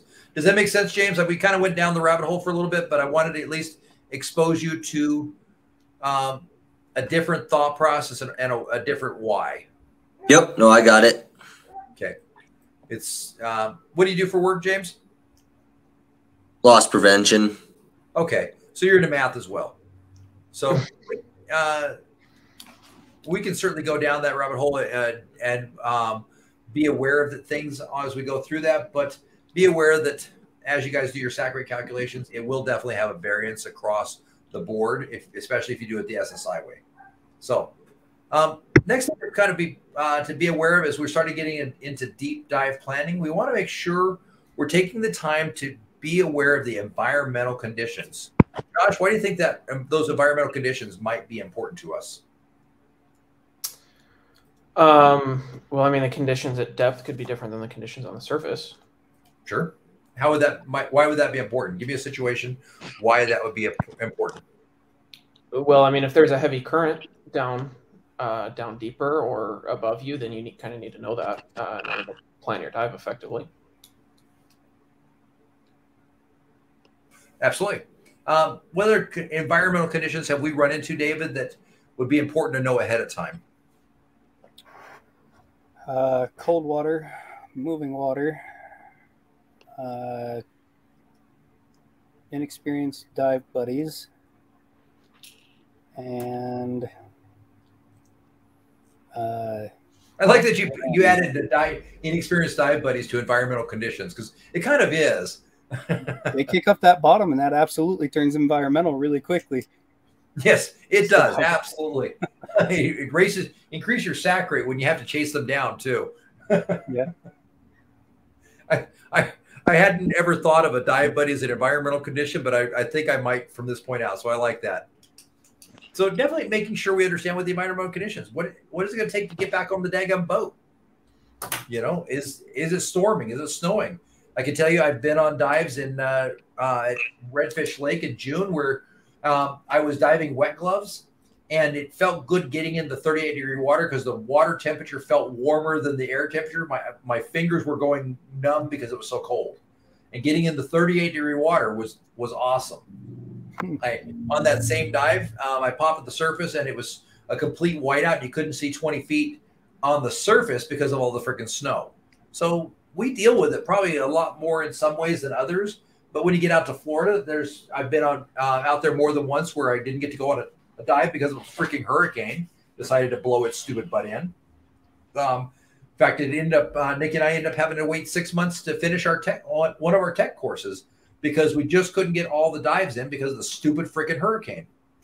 You know, I can't believe it decided to come in while we were here. Couldn't wait a week, but you know, be aware. Environmental conditions are definitely going to be play a part in this. And remember, we're since we are diving deeper, more gremlins and more problems uh, possibilities start to become apparent. Um, not only because of the gremlins, because of depth, because of other issues that we're having to deal with, and emergencies that could arise. Next thing is that we want to be aware of communication. James, why do you think communication and deep dive planning would be reasonably important? Well, if we don't speak the same language, uh, the information's not going to get passed on correctly. Absolutely. So, James, if I, I don't know if you guys can see me. I'm going to go ahead and put myself back on the screen. Yep, there we go. So, James, I give you this symbol. What do you think I'm trying to tell you? Point. Say again. Rally point or on me. Exactly. On the surface, that's what it means. But um, on a dive, that means turn the dive. We're turning the dive. How about this? You're asking for time consumption rate, how much oxygen you have left. Nope. This would be how much oxygen, but this would be halfway. I'm at half, and so it's interesting. You know, there's there's things that you would think would be inherently the same as across the across the board, but as on diving, there's definitely a few ones that are different. Turn the dive, short to the left, short to the right. I'm at halfway. What are we going to do? Turn the dive. So definitely some different communication. So understanding that kind of stuff, because if I'm telling you this and I turn around and go the other way, and you don't notice that, that can be definitely a problem. So communication can be huge. How much gas do you have? How about this one, guys? James, do you know this one? What a little hook.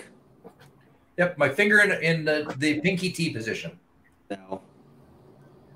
I'm asking where you're at on deco. So if we're doing a deco stop or we're doing a, a safety stop, and I want to know how much time do you have left on your deco or your safety stop, I'll give you that. And I'll say, hey, I just say, because you may have a five minute safety stop uh, to make sure we're safe, especially since we're going deeper. The deeper we go, the more uh, prevalent we're going to need to use a longer safety stop. So I want to know where you're at on your on your safety stop. Are you done? And then finally, um, Josh, I'm going to pick on you for a little bit. I picked on James plenty for right now. I won't pick on you for at least a minute and a half, two minutes, James. Um, so that was funny. Come on, work with me. This must be a long question. So, Josh, I do this. What am I telling you? That's uh, cleared for your safety stop or your yeah. deco. Yeah, that's what I'm telling you. I've, I've cleared my safety stop. Josh, why do you think I do it on both hands?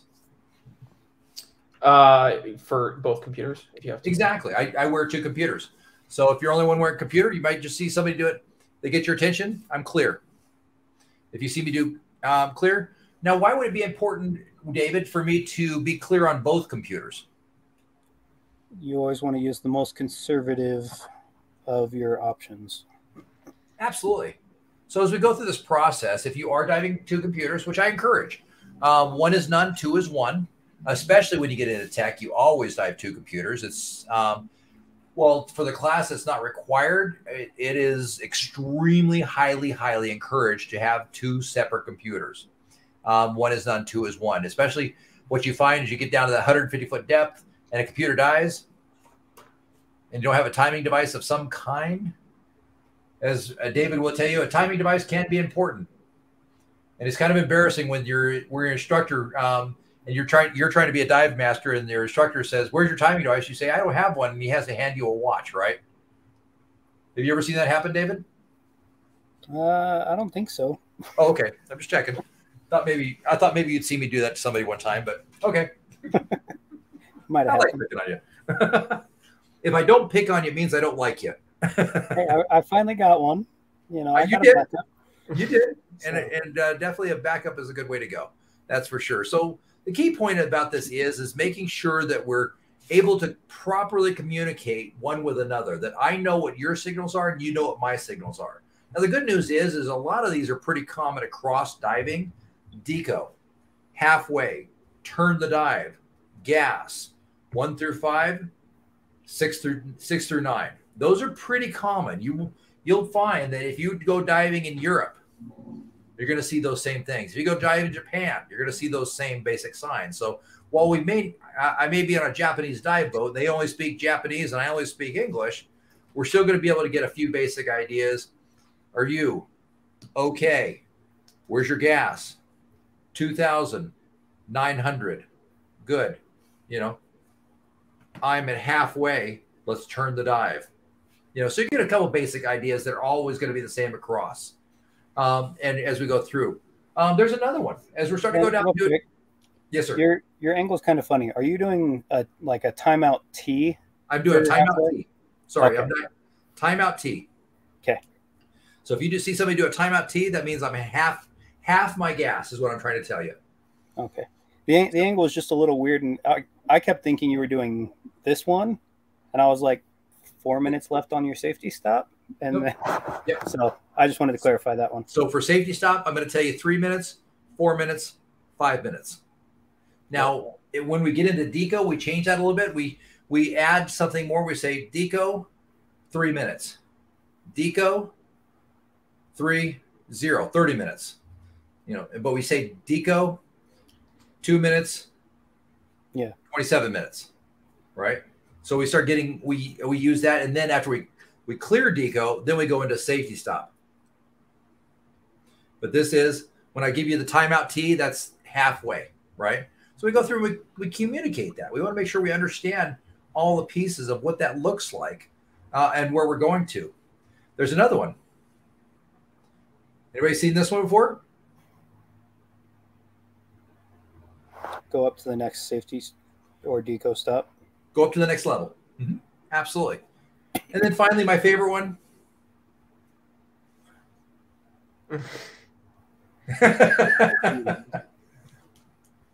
You've hurt my feelings. I'm just kidding. We don't actually use that one, but it's definitely fun to do once in a while. So we want to make sure we're communicating clearly so that we know what those symbols are, what's going on, where things are at. Because without that, we're not going to be able to clearly communicate everything we need to know. Simple enough. Um, I'm not going to go over. Does everybody have a pretty good idea of uh, flying after diving? Do I really need to go through that? One hour for every thousand feet of altitude. There you go. So simple enough. Um, the other one we're going to do, we're adding something new, guys, to our our diving. Uh, as we're starting going to diving, we're going to add a new one. We're going to stop once we descend three to five to ten feet. We're going to stop, and you're going to see me do this.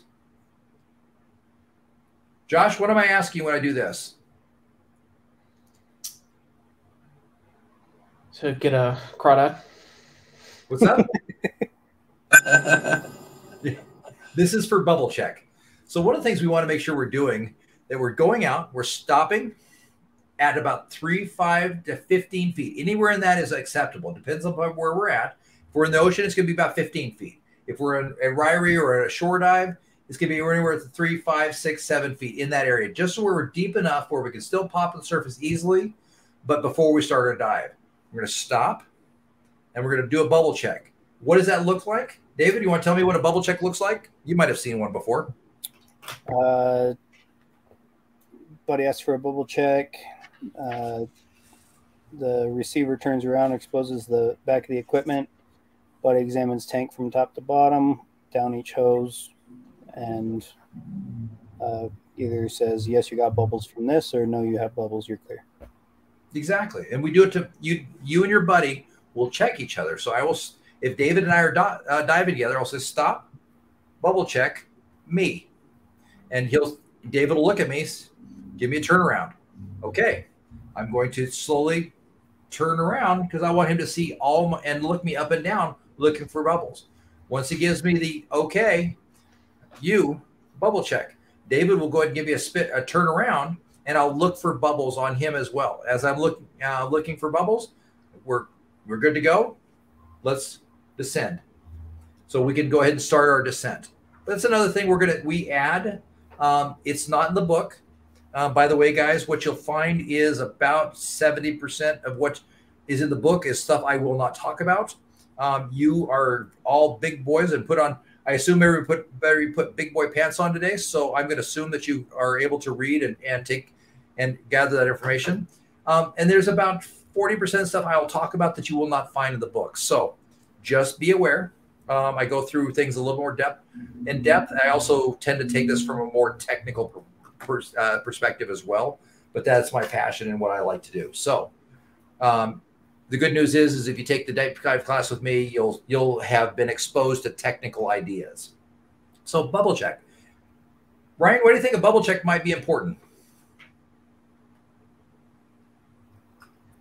So you can catch big issues before they become bigger. Um, Absolutely. Go deeper, will be more more dangerous. Absolutely. So now on the deep dive course with you guys, just to set some expectation. I definitely work as an instructor on this portion. Um, I'm a I'm your dive master, dive guide, instructor. I'm right where with you. You guys will be under direct supervision. This is the last deep dive class that that happens on. I'm my goal is to bring you guys to the level that you guys are 100% big kids and you graduate to that point where I'm no longer your dive master, dive guide instructor, but I am now just the guardian angel and um, evil gremlin of your dive group. That is so. Just be aware. This is the last time that I act um, in a deep dive class that I act as your instructor slash direct contact person. So as we go through this, that's kind of exciting. Is this the last time I act like that for you in a deep dive class? Now, night limited viz or other things like that, um, I still have to require do that. But once we move over to decompression diving and extended range, I am absolutely um, believe that if you're in a decompression uh, diving class, that I don't need to stand on top of you. So be aware. It's kind of kind of exciting for you guys, right? All right. So as we start um, doing these dives, you guys will need to make sure that you're planning all these dives within the no decompression limits. David, what's the simplest way to plan a no deco dive? The simplest way to plan a non-deco dive is the uh, U.S. Navy dive tables. Absolutely. Everybody got their uh, um, phone where they can get to it very easily. Yep. All right. If you would open the My SSI app, please. Alexa, working on 40%. There we go. Maybe that, nope, that didn't help either. I thought that would help, but not so much. All right. Oh, there's an, by the way, there is an update to the app. So once you get in the app, if you would, go to the more button.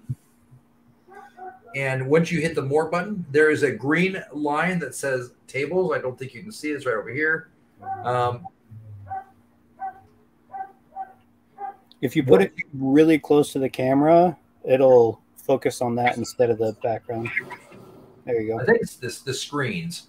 Um, I've got uh, two good sized screens. So you're looking for. There you go. Tables. Ooh, that's kind of freaky. So tables. Once you're in tables.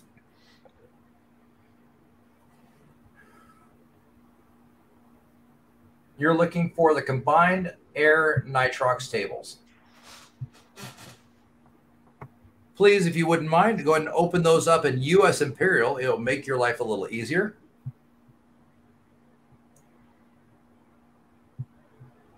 Now, having a copy of these with you on a dive site is definitely not a bad idea. Now, guys, there's a second way to do this to plan your dive with that you have with you. Um, hopefully, what do you think? Another way I can go through and I can plan my dive to make sure I'm running a no decompression limit. Dive computer. Dive computer. I would encourage you. Um, we do, do teach a computer diving course um, at the shop, um, but learn how to go into your specific computer, get into the dive planning mode, dive setup, dive log.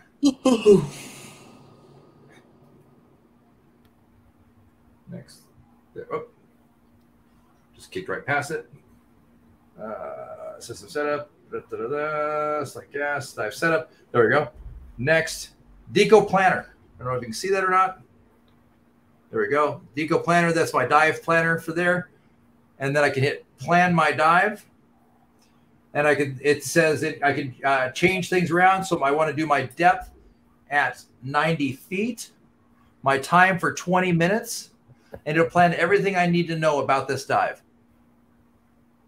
Enter the bottom time in feet, minimum and maximum, and then I can hit next. Next, next, next, next, next, next. My gradient factor plan. And there's my whole dive plan. Whoop, there we go. So I go down to 90 feet. Run time is 20 minutes. Ascend from 90 feet. Total time of this dive would be 34 minutes but you can do it, everything you need to know in your dive planner. I encourage you to pull the book out of your uh, out of wherever you've hidden it or gotten to, um, or download it from online and uh, learn how to use the dive planner. It's definitely to your advantage. So as we're planning these dives, we definitely want to make sure we're doing a good no decompression plan of this and stay out of deco. Guys, you aren't gearing up for deco in this. We're just getting used to going deep. Next thing we want to do is we want to make sure we're doing our pre-entry buddy check while we are responsible for ourselves, we are also um, with a dive buddy, and, in any way we can prevent them having problems is to our advantage, right, guys?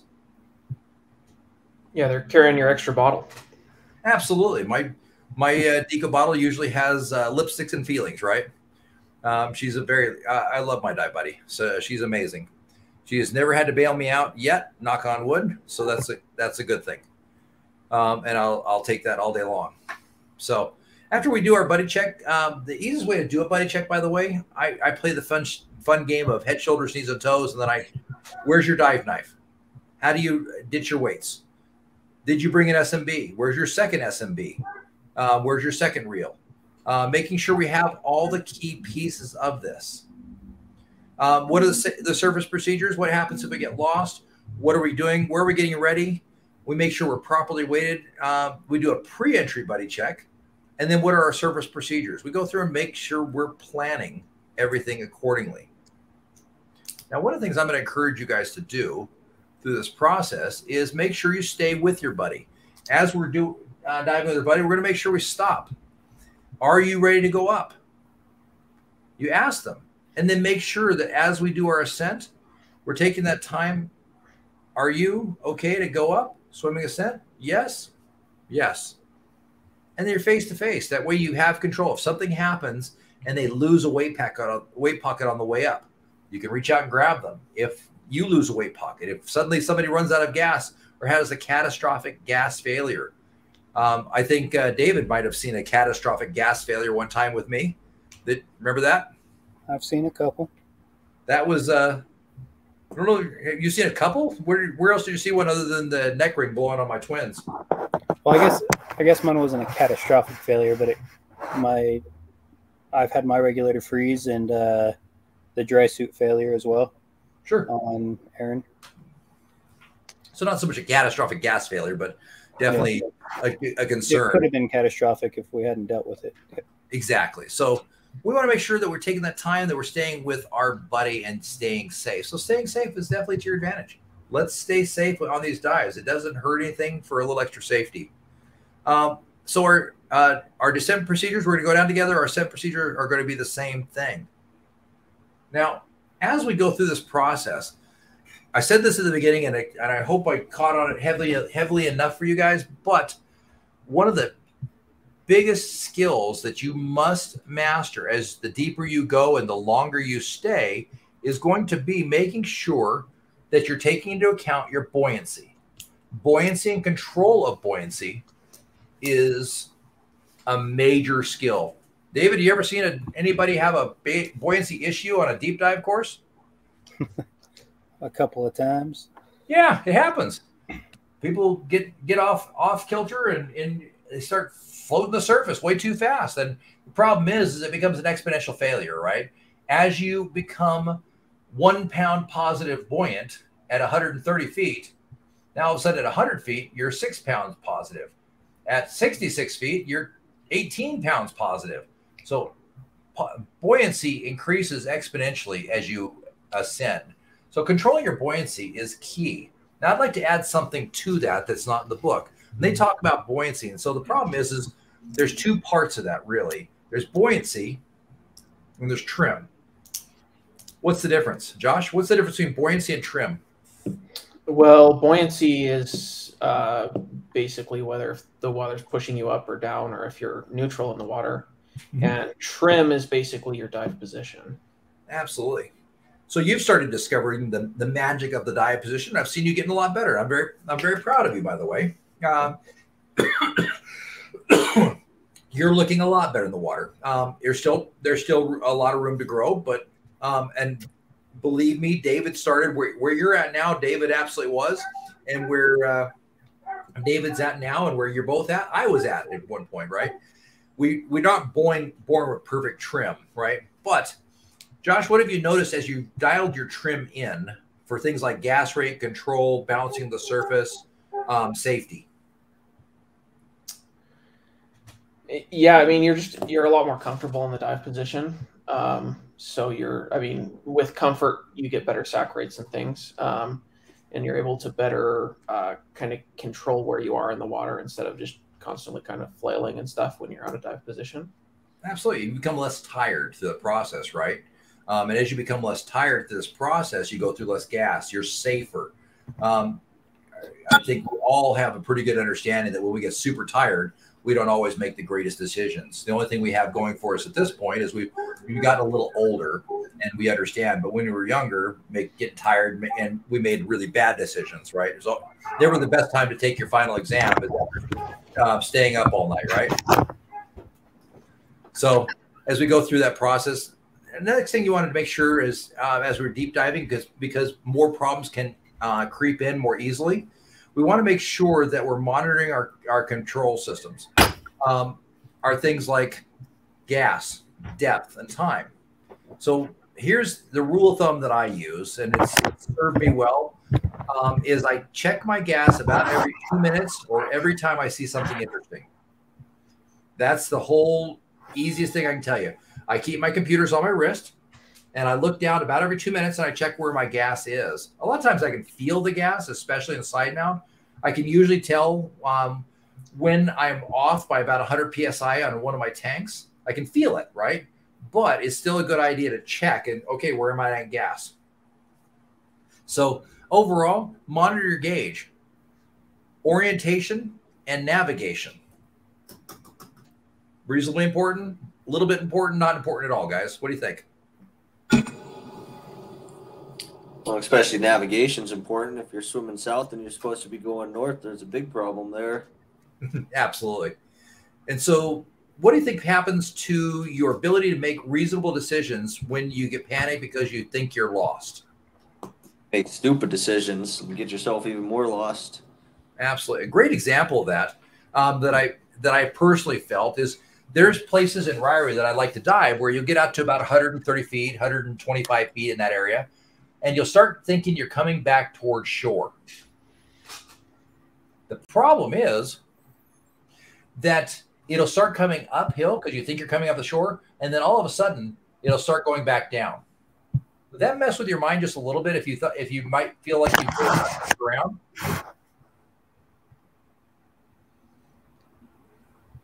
If you if you didn't know which way is north, south, east, or west, and you thought you were heading toward shore because you were going up, and all of a sudden the the incline started going back down, could that mess with your mind a little bit? Oh yeah, you'll turn around in a heartbeat. Absolutely. You're like, oh crap, I got I got I got missed. I, something's wrong. So having a good idea of navigation and orienteering of where you're really at is definitely to your advantage. had an interesting one, just personal story. We were diving uh, um, uh, Stanley Lake um, a couple years ago, and uh, we were out, and I I mapped it out, mapped out the dive before we went out, and I knew that the dive site was supposed to be 90 feet at the very center of the lake. And we got out, and we were about 80 feet, and all of a sudden we started rising again. And I was like, I kind of know where we're at, and I've got my navigation going. We should not be going up. And we went up 25, 30 feet to about 60, 60, uh, 55 feet in that area. I was like, something ain't right here. But I, w- I was curious where this went, and then if I really was at the other shore, and then all of a sudden it leveled out and went back down again. I was like, huh, that's weird. And we had the exact same thing happen again. And again, we had it happen four times to us where we came up 25 feet, we went down down 25 feet. It was like a rolling hill. What had happened is the year prior there had been a major earthquake, and it had liquefied um, the dirt underneath. So it had kind of done that, right? It it had squeezed it together um, and liquefied it so that all of a sudden it had rolling hills underwater. It changed the depth of the lake from 95 feet to 80 feet at its de- deepest, but it had given rolling hills. But I'll tell you what, that'll if I didn't have my compass with me and I had a good understanding, it would have definitely. It, I mean, it was messing with my mind with a compass. Without a compass, it would have just screwed me over, right? I'd been like, ah, what the heck, right? So, orienteering navigation is definitely to your advantage. Now, James, are you interested in taking the navigation course? I meant to ask you earlier. Um, we discussed something about taking the test you're talking about. Absolutely. If you would like um, to order up the course, um, what I do with that for somebody that um, is 11 bullet stopper or 0311, um, uh, I, I, don't do that for the Air Force because I don't believe that they can find their, their way out of the, the bathroom with a compass, but uh, I, I, will do that for Army and Marine Corps. Um, uh, I will, we sit down, I will ask you five questions. And at the end of five questions, if I feel comfortable, I'll, I'll sign you off. Um, you just have to go home and do the homework. Um, but I will sign your paper off, and once your homework is done, the the certification goes through. Um, uh, typically, um, the couple times that I've done this so far, um, the person has passed the exam, at, passed my five questions to my satisfaction. Um, it has taken about four or five minutes to answer the questions. So I am happy to do that for you, but uh, that's because you were uh, you're a former 11 bullet stopper. So um, I don't do it for everybody. David will tell you I do not do that for everybody. So, but um, you have you have a previous MOS that I I have a a modicum of trust in that you know what a compass looks like. At least I, for the love of God, I hope so. And again, like I said, I, I won't do that for the Air Force because I don't think that they they know how to, they know what a compass is. You guys want to hear an Air Force joke real quick? Sure. Do it. So the other day they had the four branches of the, the uh, military come together for a, a test, and the uh, the commander in chief got together. He says, "Guys, I got a question for you. What would you do if you found a scorpion in your tent?" And the army guy said, "Well, I'd, I'd cut its stinger off and I'd eat it." And they're like, well, "A little gross, but okay." The marine says, "I'd stomp the shit out of it with my boat, my boot, and then I'd kill it with my bayonet, and then I'd throw it outside, and then I'd eat it." They're like, overkill, but okay, I get it. The Navy guy says, I'd pick it up in something and I'd throw it outside. They're like environmentally conscious. The Air Force guy said, the first thing I'd do is I'd call room service and figure out why there was a tent in my room. So there you go. There's your Air Force joke for the day. Um, and that's recorded on YouTube for posterity. So one of the things we got to do is make sure we're uh, orienteering numbers, make sure we're communicating with our buddy. What happens if we lose our buddy? Is that a thing that can happen? David, you ever lost a buddy? Once or twice. Josh, you ever been lost? Yeah. Absolutely. It happens. Well, I wasn't lost, but You were Yeah. lost. You knew where you were at, but nobody else seemed to know, right? So what happens if you lost, lose your buddy? What's the procedure? Turn around in 360, look up and down, search for two minutes before you go up. Exactly. Now, here's the thing. You are now big kids, and and while that's the standard procedure, if that's not what's agreed upon between you and your dive buddy, That's not what's agreed upon. That is the safest procedure is one at one minute for 360, uh, one to two turns. But you can agree upon it. Nikki and I have a, an agreement. If I don't find her for, if I don't see her for 10 minutes, because she could be on one spire and I could be on another spire, and maybe she popped over somewhere else or I popped over somewhere else. If we don't see each other for 10 minutes, we go ahead and ascend to our safety stop and then we uh, finish our ascent. That's our agreement. But we're diving the lake. There's no current. We're both uh, very proficient divers. We're both SOTL certified, right? So we, there's a few things that we have advantages to, right? We understand. Um, so that's that's our loss, buddy. But you have that choice. You get to make the decision of what that actually looks like. Now the next thing is is we need to make a point in an agreement with ourselves. What does it look like when we're ready to ascend? When do we start to ascend? Now, typically, we want to make sure that no matter what happens, just like open water, we want to make sure that we're popping the surface with at least 500 psi or 50 bar, whichever you're into, minimum. So if we're going to get to the surface with 50 bar, we need to plan a little bit ahead of time. If, if like in our car, if we if we want to make sure we always fill our gas tank when it uh, at a quarter tank, we've got to plan before we get to the quarter tank, right? Fair enough. Give me the okay if you you agree. Okay, Josh. Perfect. Okay, so you got to make a little planning here. So as you get deeper, it takes longer to ascend. Your safety stops might be longer. So typically, what I'd like you guys to start thinking about as we get into this deep diving is considering a little bit earlier ascent. But typically, as we start getting into this, we start talking about the rule rule of thirds. Josh, can you explain the rule of thirds to me? Uh, uh, third there, third back, third reserve. Absolutely. So if I've got 3,000 psi, what does that look like? If you got three thousand, that means you can spend a thousand going somewhere, a thousand coming back, and then a thousand for anything that might happen. Absolutely. David, which direction in a current should I start my dive? With the current or against the current? Start against it. Why? Because when you're tired, you can always stop swimming and drift back to where you started. Absolutely. That's absolutely one reason. What's another reason I would start against the current, James? What's one reason why you'd start against the current? Yes. Why would I want to start against the current? You're gonna spend more exertion going down, pushing against the current. So you're gonna have a higher level of reserve come back. Absolutely. So if I start with the current and then I have to come back and I'm using that 1,000 out, 1,000 back, I'm probably not going to have a thousand back. So I'd like you guys to start considering using the rule of thirds on your deep dives. Um, it's going to add an additional level of safety so that when you guys um, see that magic thousand psi mark, it's time for you guys to start beat feet and head into the surface. Okay, you need to be on the surface with uh, more than a thousand psi. So you got to make this plan, right? I'm I'm heading back. It's time to start heading up.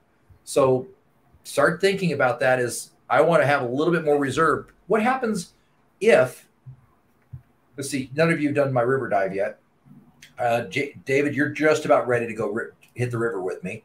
Um, but what happens if? What happens? You get down there and you blow into into re, uh, into deco, and all of a sudden you find yourself at a ten minute deco stop. Grab a rock and hold on. Grab a rock and hold on. But what about gas? Oh, I see. Would you set up a stage bottle or have a secondary on you? But what if you haven't done that? You've just gone down single tank. You've you've uh, blown through. If you have, if you use the rule of thirds, where your goal is to be at the surface with more than a thousand psi, how long can you last at that 25, 20 foot safety stop with a thousand psi of gas in your tank in reserve? Pretty good amount 25 feet, probably about 20 minutes or so. Yeah, probably closer to 30, but um, I, I, pick up what you're putting down. So 1,000 psi um, gives you quite a bit of time, right? So allow yourself the extra safety stop. Give yourself that time to think about things. Um, and as we do this, I want you guys to start thinking a little bit more about your safety stop. What does that look like, right? As we start coming up to that point, our what is our safety stop going to be? Okay, so as we go through this process, we've talked about this, in, and you guys have all been through this with me at least once. The M value is the maximum amount of nitrogen on an ascent that a cell can hold before it turns into symptomatic bubbles. Okay. That's your technical dive terms for the day. What that means to you is that when a cell has collected too much nitrogen and is being exhausted too quickly, it comes out in the form of bubbles. These bubbles start as bubble seeds, they move their way up to silent bubbles, and then from silent bubbles, they become symptomatic. Now, the challenge with this, guys, is that this is a fuzzy logic area where they change from bubble seeds to they grow at enough tension to become silent bubbles to eventually symptomatic bubbles is going to be different for everybody. James, how you your body off gases nitrogen is going to be different than Josh. Is going to be different than Dave. It's going to be different than Nikki. And it's going to be different than me. So there's a a gray area of what this actually looks like, and there's a safety margin. Now the good news is the dive tables are built with a basic safety margin in them. But what we can basically add to this is we can say, as we do less deco, less safety stops, we reduce that safety margin as we take the time to do more deco, longer safety stops, we reduce that risk by reducing the size of the bubble and allowing them to come out much more slowly. What I'd like you to do to take away from this is a dive tables and safety stops are how divers manage the size of the bubbles in their bloodstream.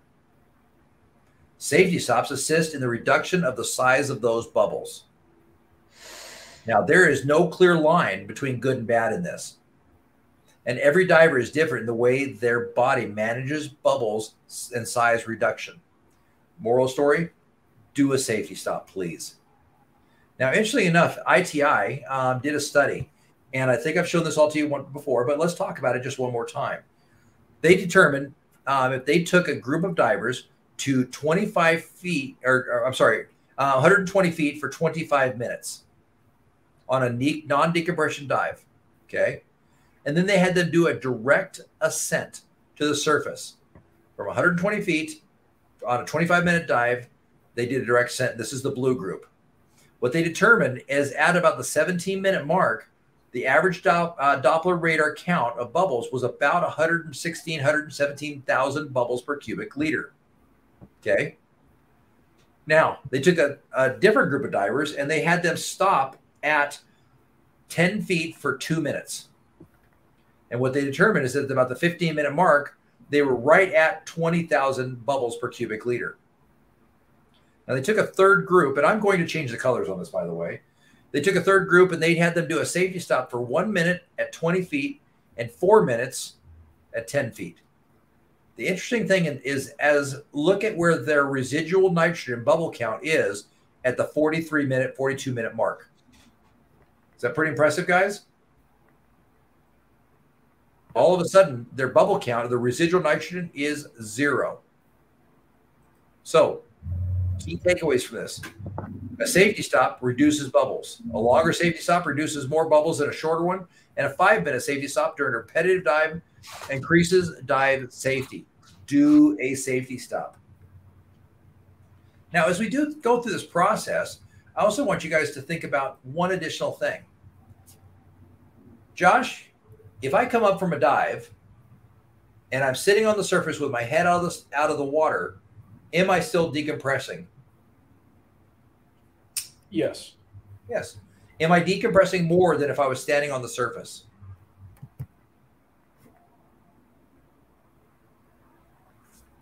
Yes. Absolutely. I've got pressure on me, right? David, what do you think happens to the bubbles of nitrogen in my system as I lug a 117 cubic foot tank out of the freaking water up the stairs. Uh, they increase in size and come out faster. Absolutely. so as you guys are carrying this heavy ass gear, and James, you've got to have noticed by this point, scuba gear ain't light.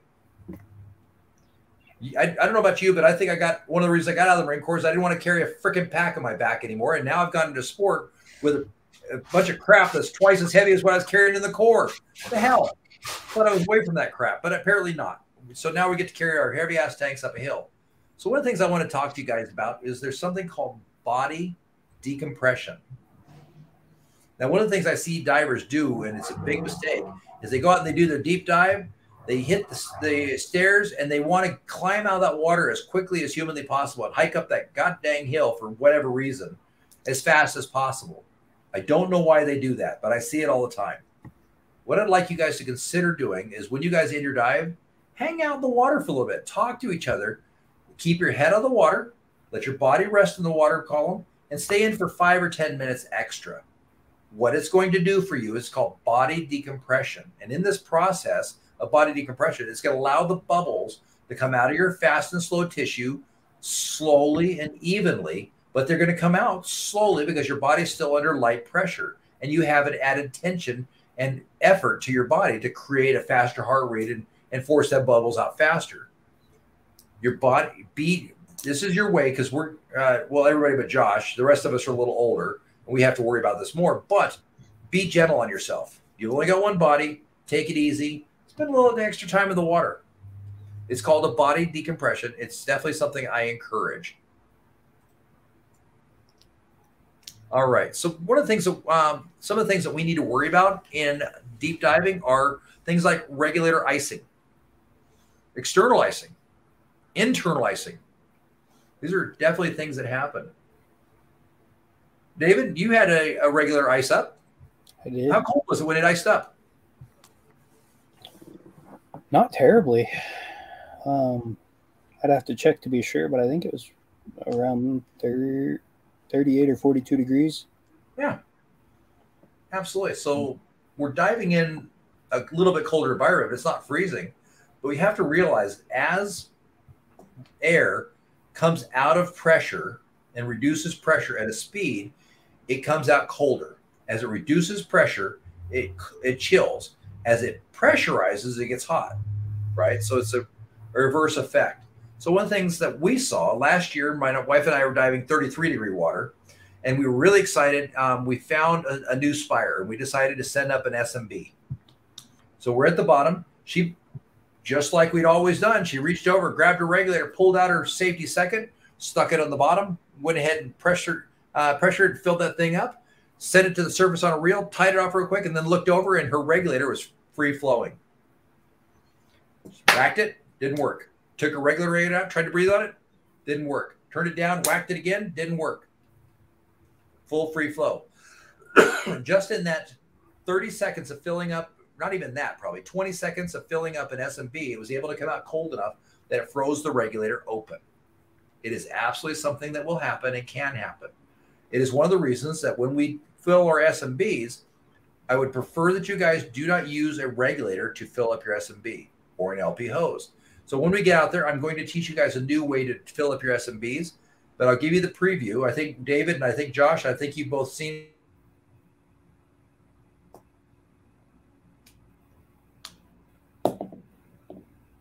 Ben, you froze. Yeah, I think we lost him. I was gonna say, I am glad it's not just me.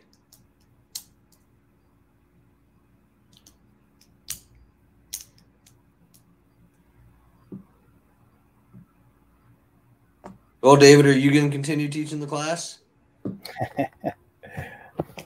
uh, I am not entirely authorized for this class, so. I mean, I, we can tell you how he fills the SMB if you would like while he's gone.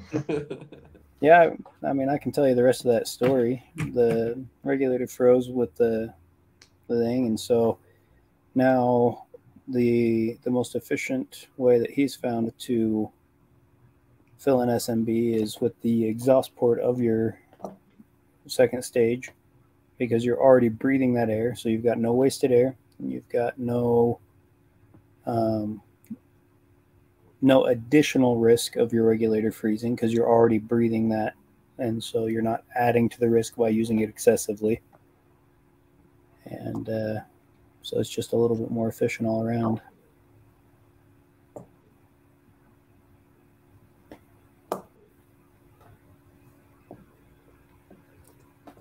Now it's just a waiting game. See how long it takes for him to get back.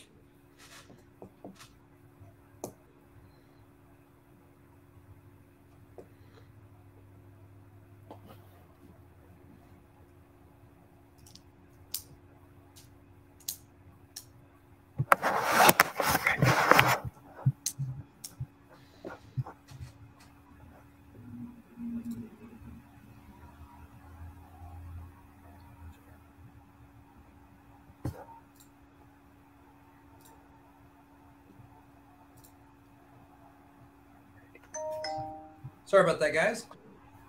We're just Hey, we got you back. Yep, sorry about that. Um, we're just with internet. It's weird. All right. So what I'm going to teach you guys with the SMB is to roll your SMB out, crack the bottom of it open, um, and hold it up and turn your head to the side. You're already exhaling gas. Why not use the gas that you're already exhaling to fill your SMB? Simply turn your head to the side, open the, the slit at the bottom, and breathe normally. It'll exhale right right into the SMB and fill that up nice and tight. Once you've got it standing column and water column, check your reel uh, or your spool to make sure everything is the way you want it to be, and then give it two more exhales and let it let it fly. One of the skills we will be doing in deep water is you will all have the you will I should say all you both will have the opportunity to launch an SMB. So please make sure you have an SMB and a spool. It is a required item. Um, and it's something you should be carrying with you anyway. Um, I carry two. Um, but then again, David, what's my rule of thumb with gear? Your rule of thumb with gear? One is none, two is one. Oh, Exactly. So I'm like, uh, I it's very rare for you guys not to catch me with two items on me of the same thing. So be aware that that is definitely something that happens. Um, as we're diving deep, be aware as well that uh, fatigue can set in. We're diving deeper. One of the things that most people don't realize is as you dive deeper, your heart and your breathe, work of breathing will increase. The air density gets higher.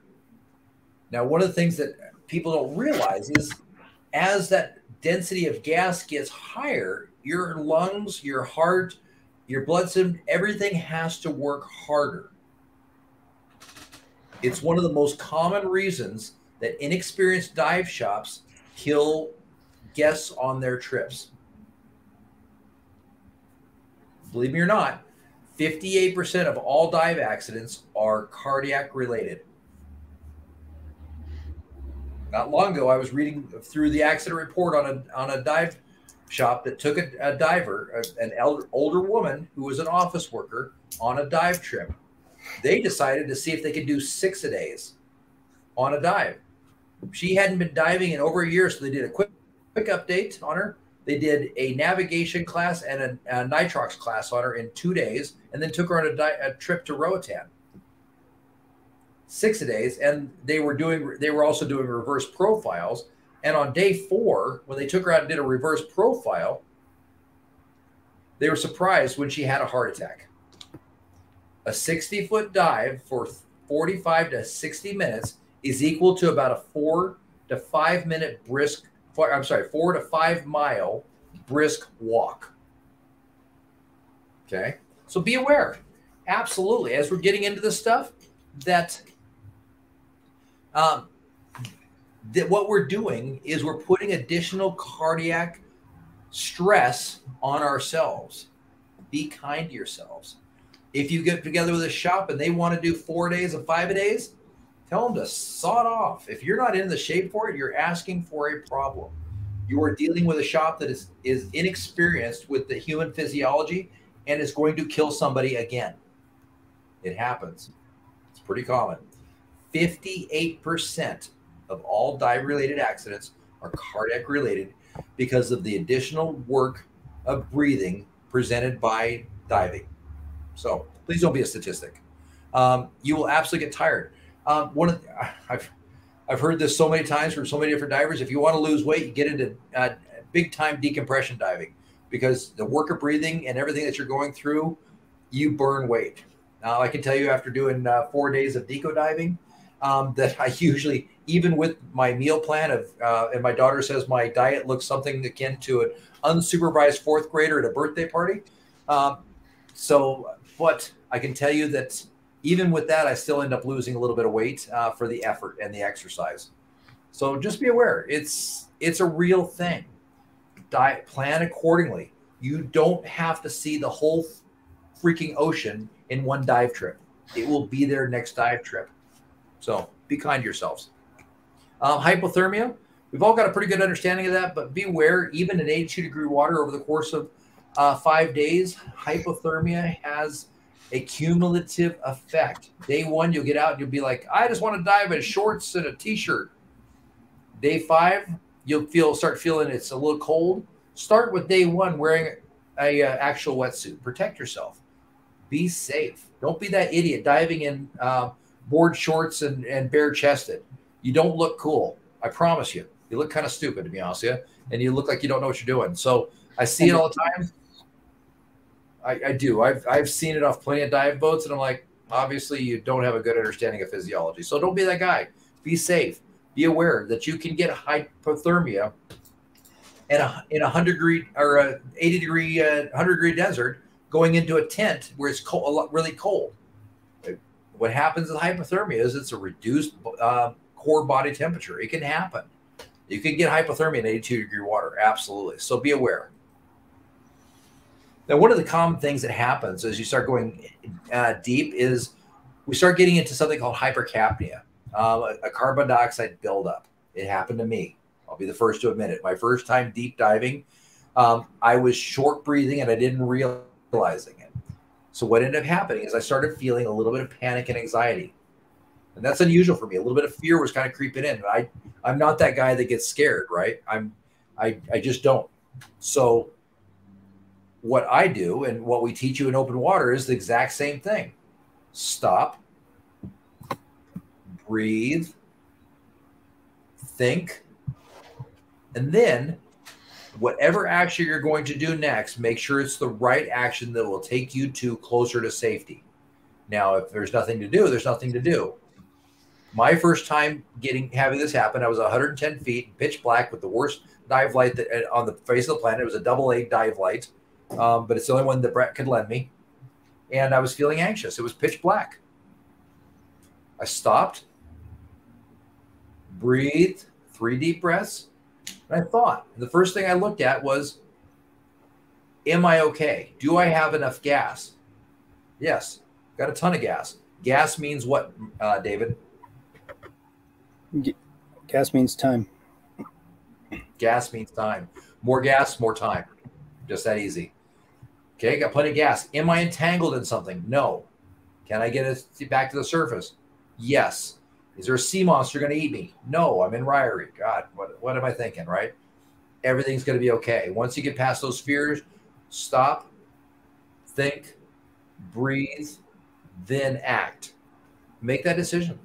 It's to your advantage. It definitely has um, advantages to be go through that process.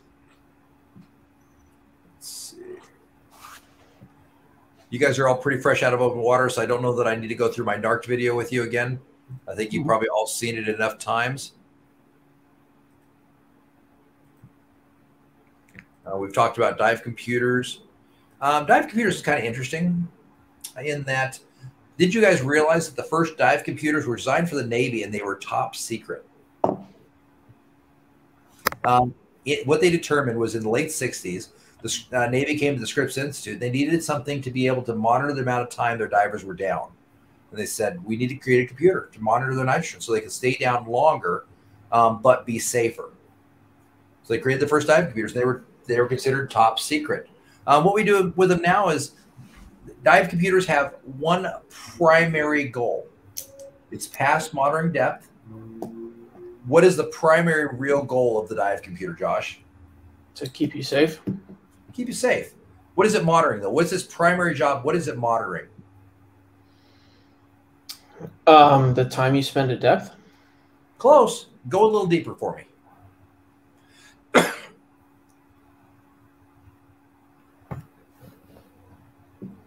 it's monitoring the amount of nitrogen in your system. Mm. That's its whole job. In monitoring. Now, the cool thing is we've added some cool features to them, like a centimeters, time, um, tank. Uh, they'll we can now have it monitor the amount of gas in our tank. But a dive computer's primary job is to man, manage and monitor the amount of nitrogen. That's its primary goal. Its secondary goal is to man, manage your oxygen toxicity level. Those are its primary goals. Your safety, but it's monitoring your nitrogen and your oxygen. Number one, number two goal. So it's kind of interesting to understand that. Now, like nice thing is, is with these dive computers, they'll they'll definitely help you keep uh, keep within the no decompression limit. Their intended use, though, is to monitor nitrogen and oxygen. Um, their limitations. Maybe what's the limitation of the dive computer? Uh, battery life and uh, the the programming. Yeah, good job. You did pay attention. The algorithm. So here's the thing. Uh, we are going to, I cannot say this enough. I I don't like doing this, but this is a standard. I have to follow the standard. We will be diving a reverse profile. Please, please, please do not um, dive a reverse profile unless you are with me on a spe- specifically profile is what you'll find. Hmm. It won't let me share my screen anymore. Okay. Share screen. I'm going to try that one more time. Window. There we go. So we want to make sure we're diving a multi-level uh, level diving, but we're doing our deepest dive first to our shallowest dive. The problem with doing a reverse profile is that the algorithm is not designed to be able to monitor the uptake of gas into the slow tissue in a reverse profile. It's not ever able to accurately measure that. It's just not designed. So when you do a reverse profile, you're working against the computer algorithm in a reverse way that it doesn't know how to compensate for. So if you could, please, please, please always do your deepest dive first, followed by your deep, your shallower dive, and then your shallowest dive. Um, that's the, one of the biggest limitations is the algorithm itself. So what happens if we go out, guys? Your dive computer fails you and you have to do a ascent, but you know that you stayed past your safety, uh, the non decompression limit. With the most conservative factor and take a deep stop. Exactly. Follow the most conservative factor, but there we go. It's right on the dive tables for you. If you go to that SSI app again and use that, should the diver exceed the NDL time limits by less than five minutes, it's recommended that you ascend normally to 15 feet and, and um, stop for at least 10 minutes or longer if your gas supply allows. Should you exceed the Doppler low compression limit times by more than five minutes, but less than 10 minutes on any dive, it's recommended that you stop at 15 feet for at least 20 minutes or longer if your air supply allows and refrain from any further diving activities for at least 24 hours. So if you blow that safety uh, that uh, deco time, make sure you're taking the time to do a full decompression stop, and take that time as much as the gas will allow. Is it going to hurt you to do an extra long safety stop? Yeah, that's all that time wasted. Absolutely, wasted my time. Dang it. So now, you guys want to talk about our dives and what we're going to do? Let's do it. That sound like a good plan? Yep. Yeah. All right. So when do we get out to our dive site, the first thing we're going to do is we're going to go through and do what, Josh? We're going to get to the dive site. We're going to do what?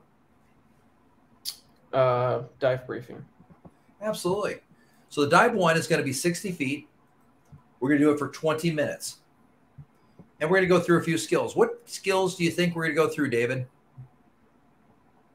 Uh, mask one through three and the regulator drills, just deep. Uh, the nice thing is we're going to do our first dive at 60 feet, and I am not going to make you guys do mask or regulator drills. I, am hoping at this point that you guys pretty much have your regulator drills down and your uh, and your mask drills that you can take those off. What other drills do you think we might want to do though?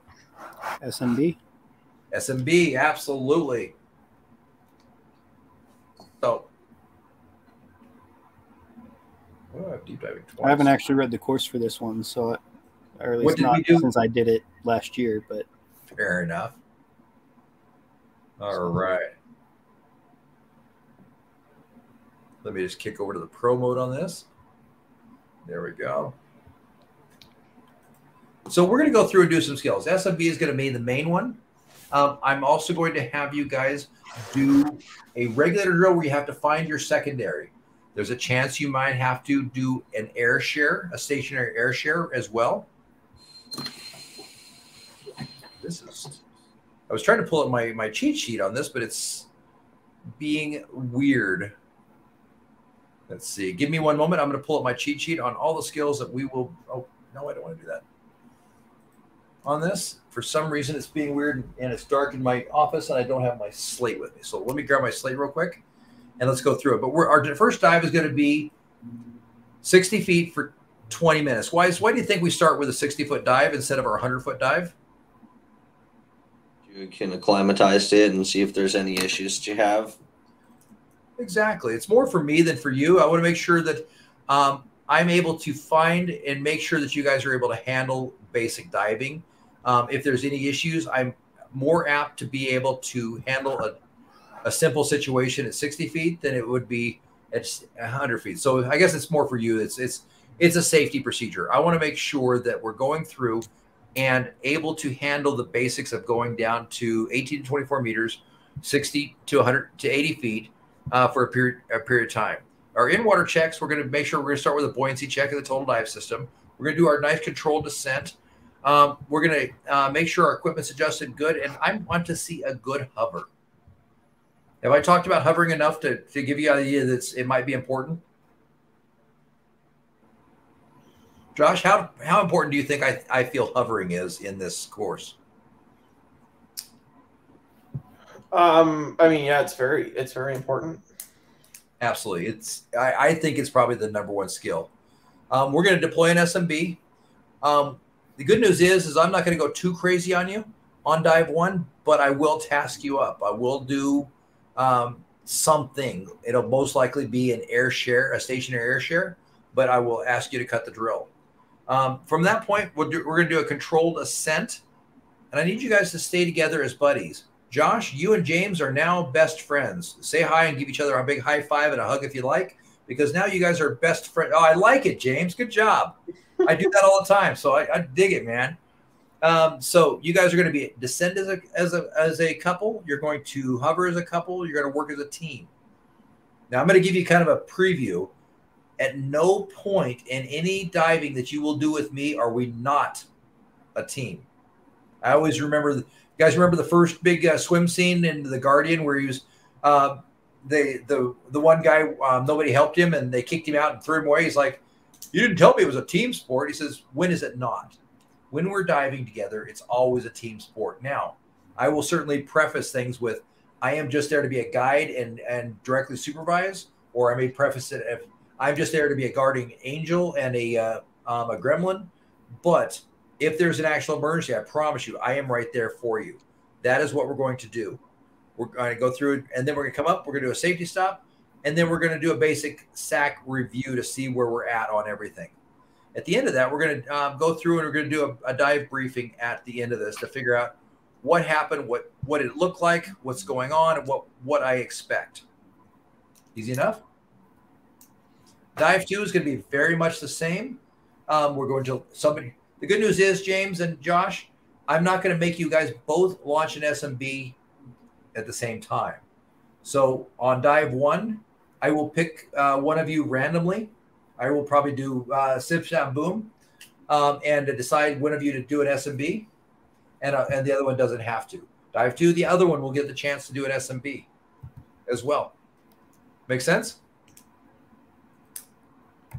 Let's see. As we go through this process um, and we go out to the 60 foot mark, um, good news is, guys, on a slate, I have a group of questions for you. Um, they're math questions. They're all like 1.8, two plus seven, three plus six, uh, six plus nine. Um, and I will have you guys do those and I will time you at each depth on these. Make sense? At the 60 foot or at the 80 foot mark, I'm also going to set up a line and I'm going to have you guys have me help me set this up. And what we'll do is I'll put a stake in the ground.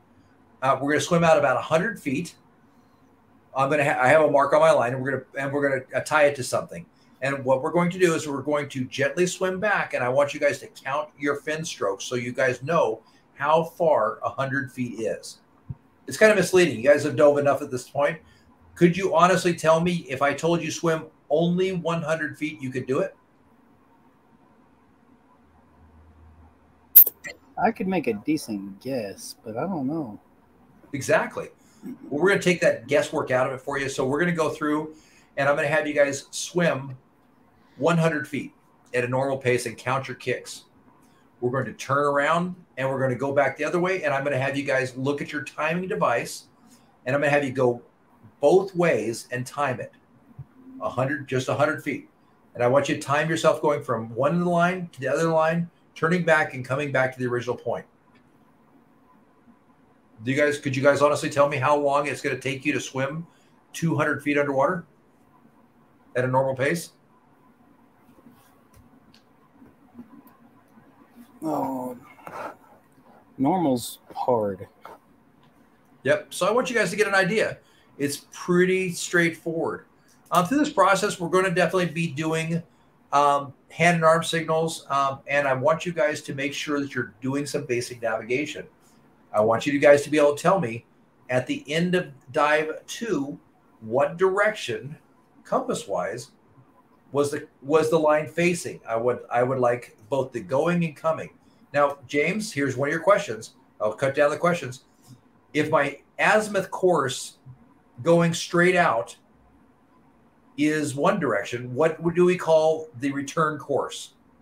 The 180 degree course. Second. The azimuth is Back out. azimuth.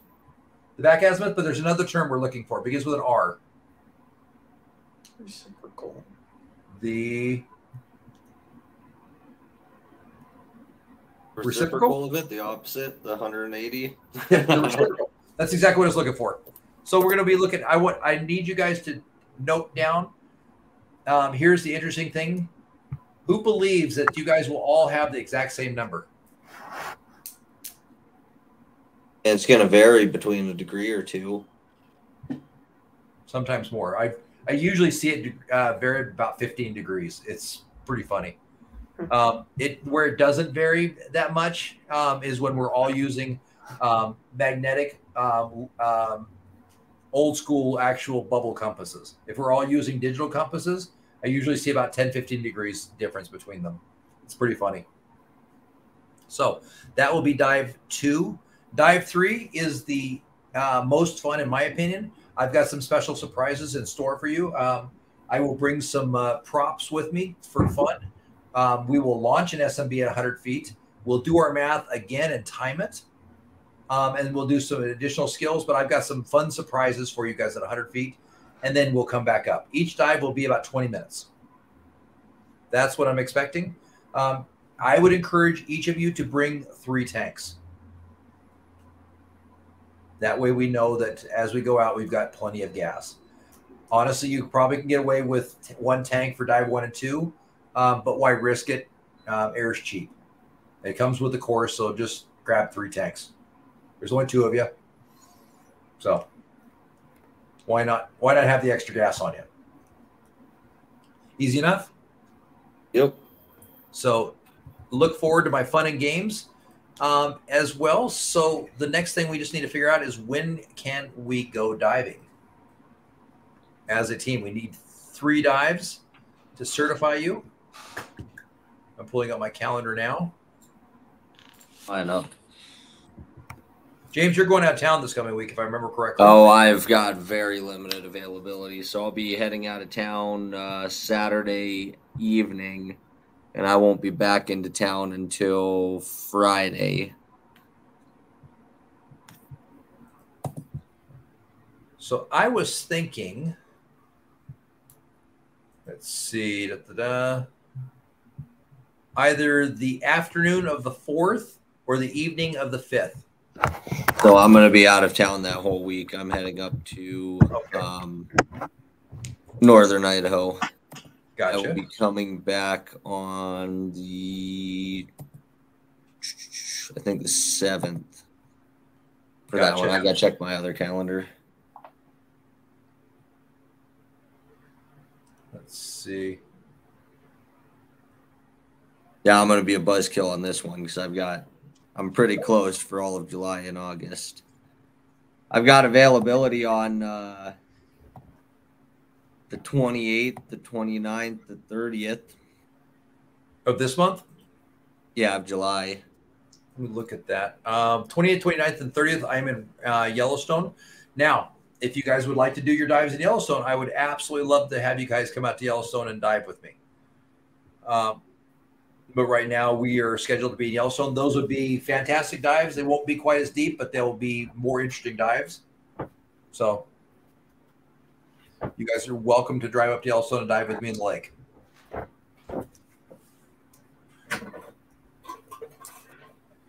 We could also do, let's see.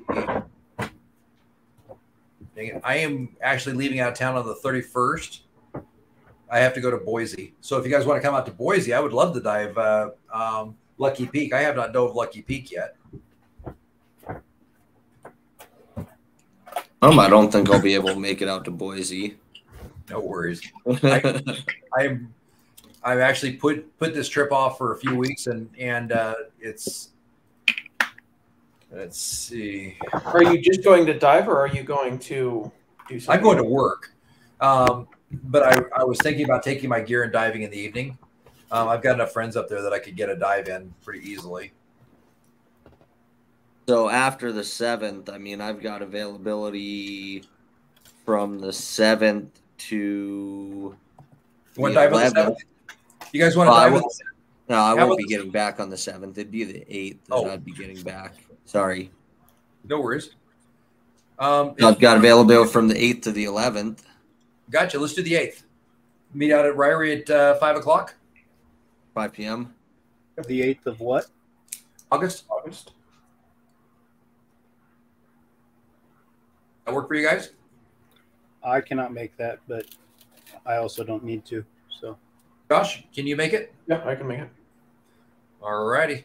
We'll be diving uh, 5 to 8 p.m.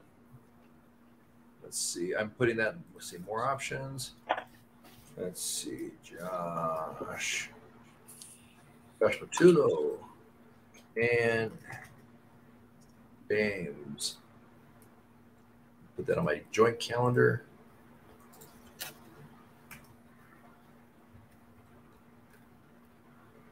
All right. I got it set. I was gonna say, unless you can do the 9th or the tenth, I'd prefer the 9th or the tenth, but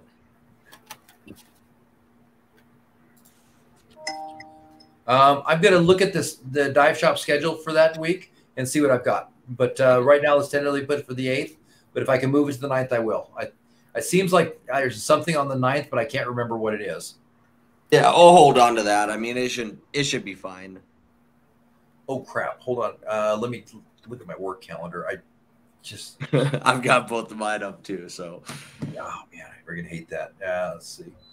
Uh. I may have just screwed myself on that. Let's see. Um,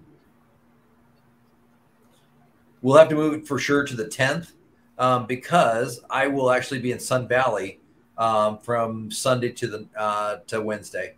So let's move it to the 10th. yeah, the tenth would work for me. Yeah, that's fine. Edit. Send. There we go. Does that work for you, Dave? Yep, no that oh, Dave. send me the invite. I might be able to make it late.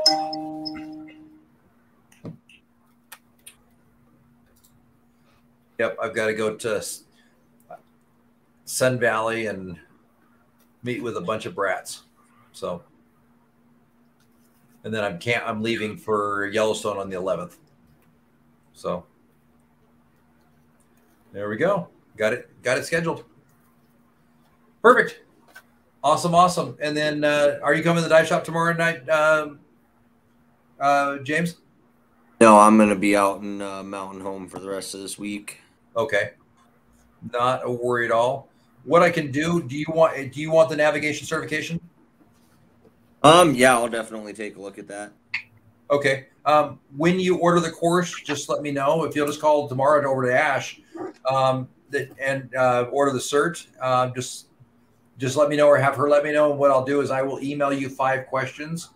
Um, I will uh, trust in your Army honor that you're not going to cheat or look at the book um, for the five for the answers, and I'll accept them via email as long as you make me the promise that you won't cheat. Okay. Easy enough. Yep. Cool. So, and then once I get uh, once you do that, you'll have to just do the homework, um, and because I can't pass it off without the homework, but the homework's easy. I I, I actually ended up doing uh, the homework on a couple of the classes like this this morning, and uh, I did two classes in about five minutes. So, if you know the material, the stuff's easy. Oh yeah, and a lot of it's just repeats of it. Exactly. So it is what it is. So cool. All right. Anything else you need from me? Nope, I'm good. Nope. All right. What questions do you have? Josh, what did you learn tonight that you didn't expect? Or that what did you learn tonight that was different? That I didn't expect or was different. Um,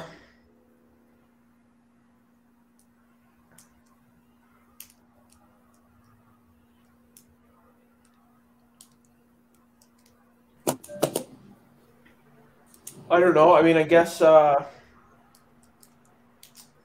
more more dive planning. Um, I don't think the the course materials really cover a ton into dive planning, so Cool. Right on. James, what'd you pick up tonight? Um, that the math gets progressively harder as you start working with multiple tanks and uh, getting on more technical dives. Taking a look at those spreadsheets that you're working on was definitely uh, a little bit eye opening for it. That's probably the the toughest part of uh, technical diving is the math. Um, the most important part uh, in my planning is the math and the hover. If you can do those two things, you can absolutely tech dive. So, did you pick anything new up today? Uh, I'll have to play around with it, but Wilson, can you hear me? did you pick anything new up today? Uh, I might have. I'm gonna go play with the. I think your mic is working, bud. no, I can We hear. can him. hear him fine. Can you hear me now? Is it me? Did you say something? Now? There we go. All right. That was weird. Yeah, it was. Um, I might have. I, I'm gonna go play with the imperial numbers and see why those don't work as well as the metric Please do. So Please do. Absolutely. There you go. Well, cool. Well, I'm glad you guys learned something. Well, again, uh, we went through a lot of stuff. We talked about a lot of dive planning. We talked about a lot of different things. Um, again, I will have this online um, probably tomorrow. Um, and you are welcome to go through it at your leisure. There's uh, quite a few different courses online um, that I've produced.